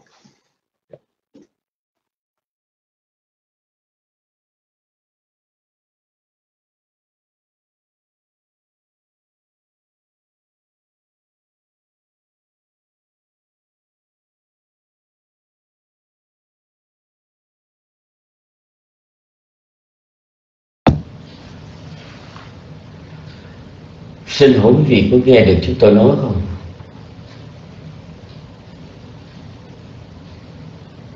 Dạ xin cảm ơn quý vị. Chỉ còn có ít phút nữa thôi. Nên bây giờ chúng tôi chỉ nói nhanh, gọn như thế này.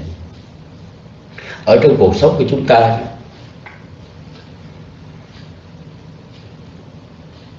cho dù à, chưa nói đến cái vấn đề tin ừ, nghiệp báo. Chỉ nói đến vấn đề là tình nhân và quả thôi. Tức là mỗi mỗi gì xảy ra trong cuộc đời này, nó cũng có nguyên nhân và cả hậu quả của nguyên nhân ấy. Một người tin như vậy đó, thì làm việc gì họ cũng có sự cân nhắc. Họ làm cái gì, họ cũng phải cẩn trọng thí dụ như một người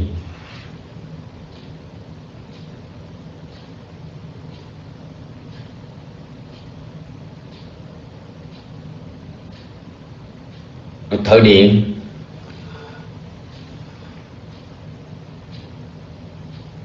họ nghĩ rằng nếu mà làm khổ thả, dễ nuôi, tức là cái nhân, do cái nhân đó sẽ đưa đến cái hậu quả làm điện giật và chết. Cho nên người này luôn luôn, lúc nào cũng cẩn trọng. Vì vậy, chính cái tinh nhân quả đó và khiến cho cuộc sống này, họ làm cái gì họ cũng dè dặt, cũng cân nhắc. Còn nói chi là một người họ tin nhân quả, theo cái lý nghiệp báo, thì họ biết rằng hễ làm ác thì sẽ bị quả báo khổ đau. Hiện tại và tương lai nếu làm thiện thì họ được an vui hiện tại và được cái quả báo lạc ở trong tương lai. Nhờ tin như vậy đó, hiểu như vậy cho nên người đó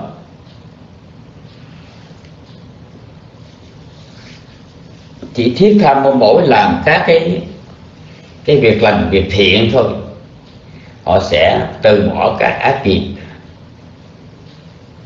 Như vậy thì một người mà có cái niềm tin nhân quả gì báo thì ở trong cuộc sống của họ,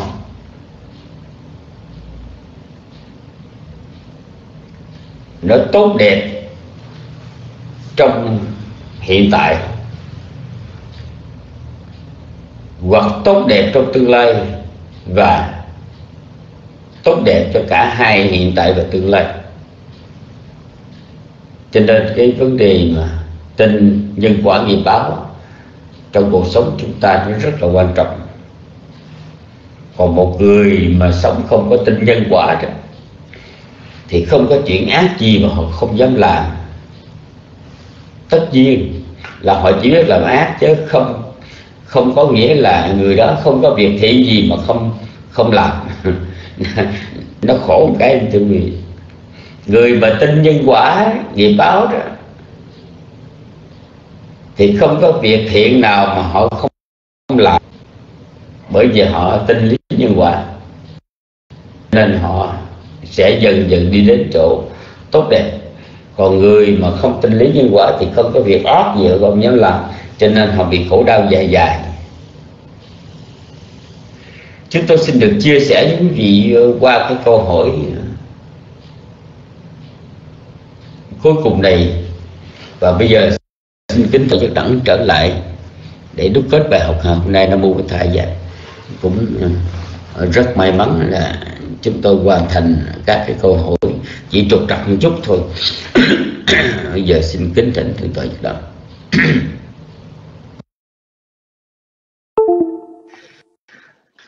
sa thú kính trân thưa ờ, tôi đại sư. Ờ, Ở cái bạch chư tôn đức và thưa quý phật tử uh, thực ra thì uh, chúng ta đôi khi cũng phải ờ, lưu ý rằng mặc dù mình có tin nhân quả nhưng mà do cuộc sống ngày hôm nay người ta hay uh, dễ bị ảnh hưởng bởi Phật uh, bởi khoa học kỹ thuật.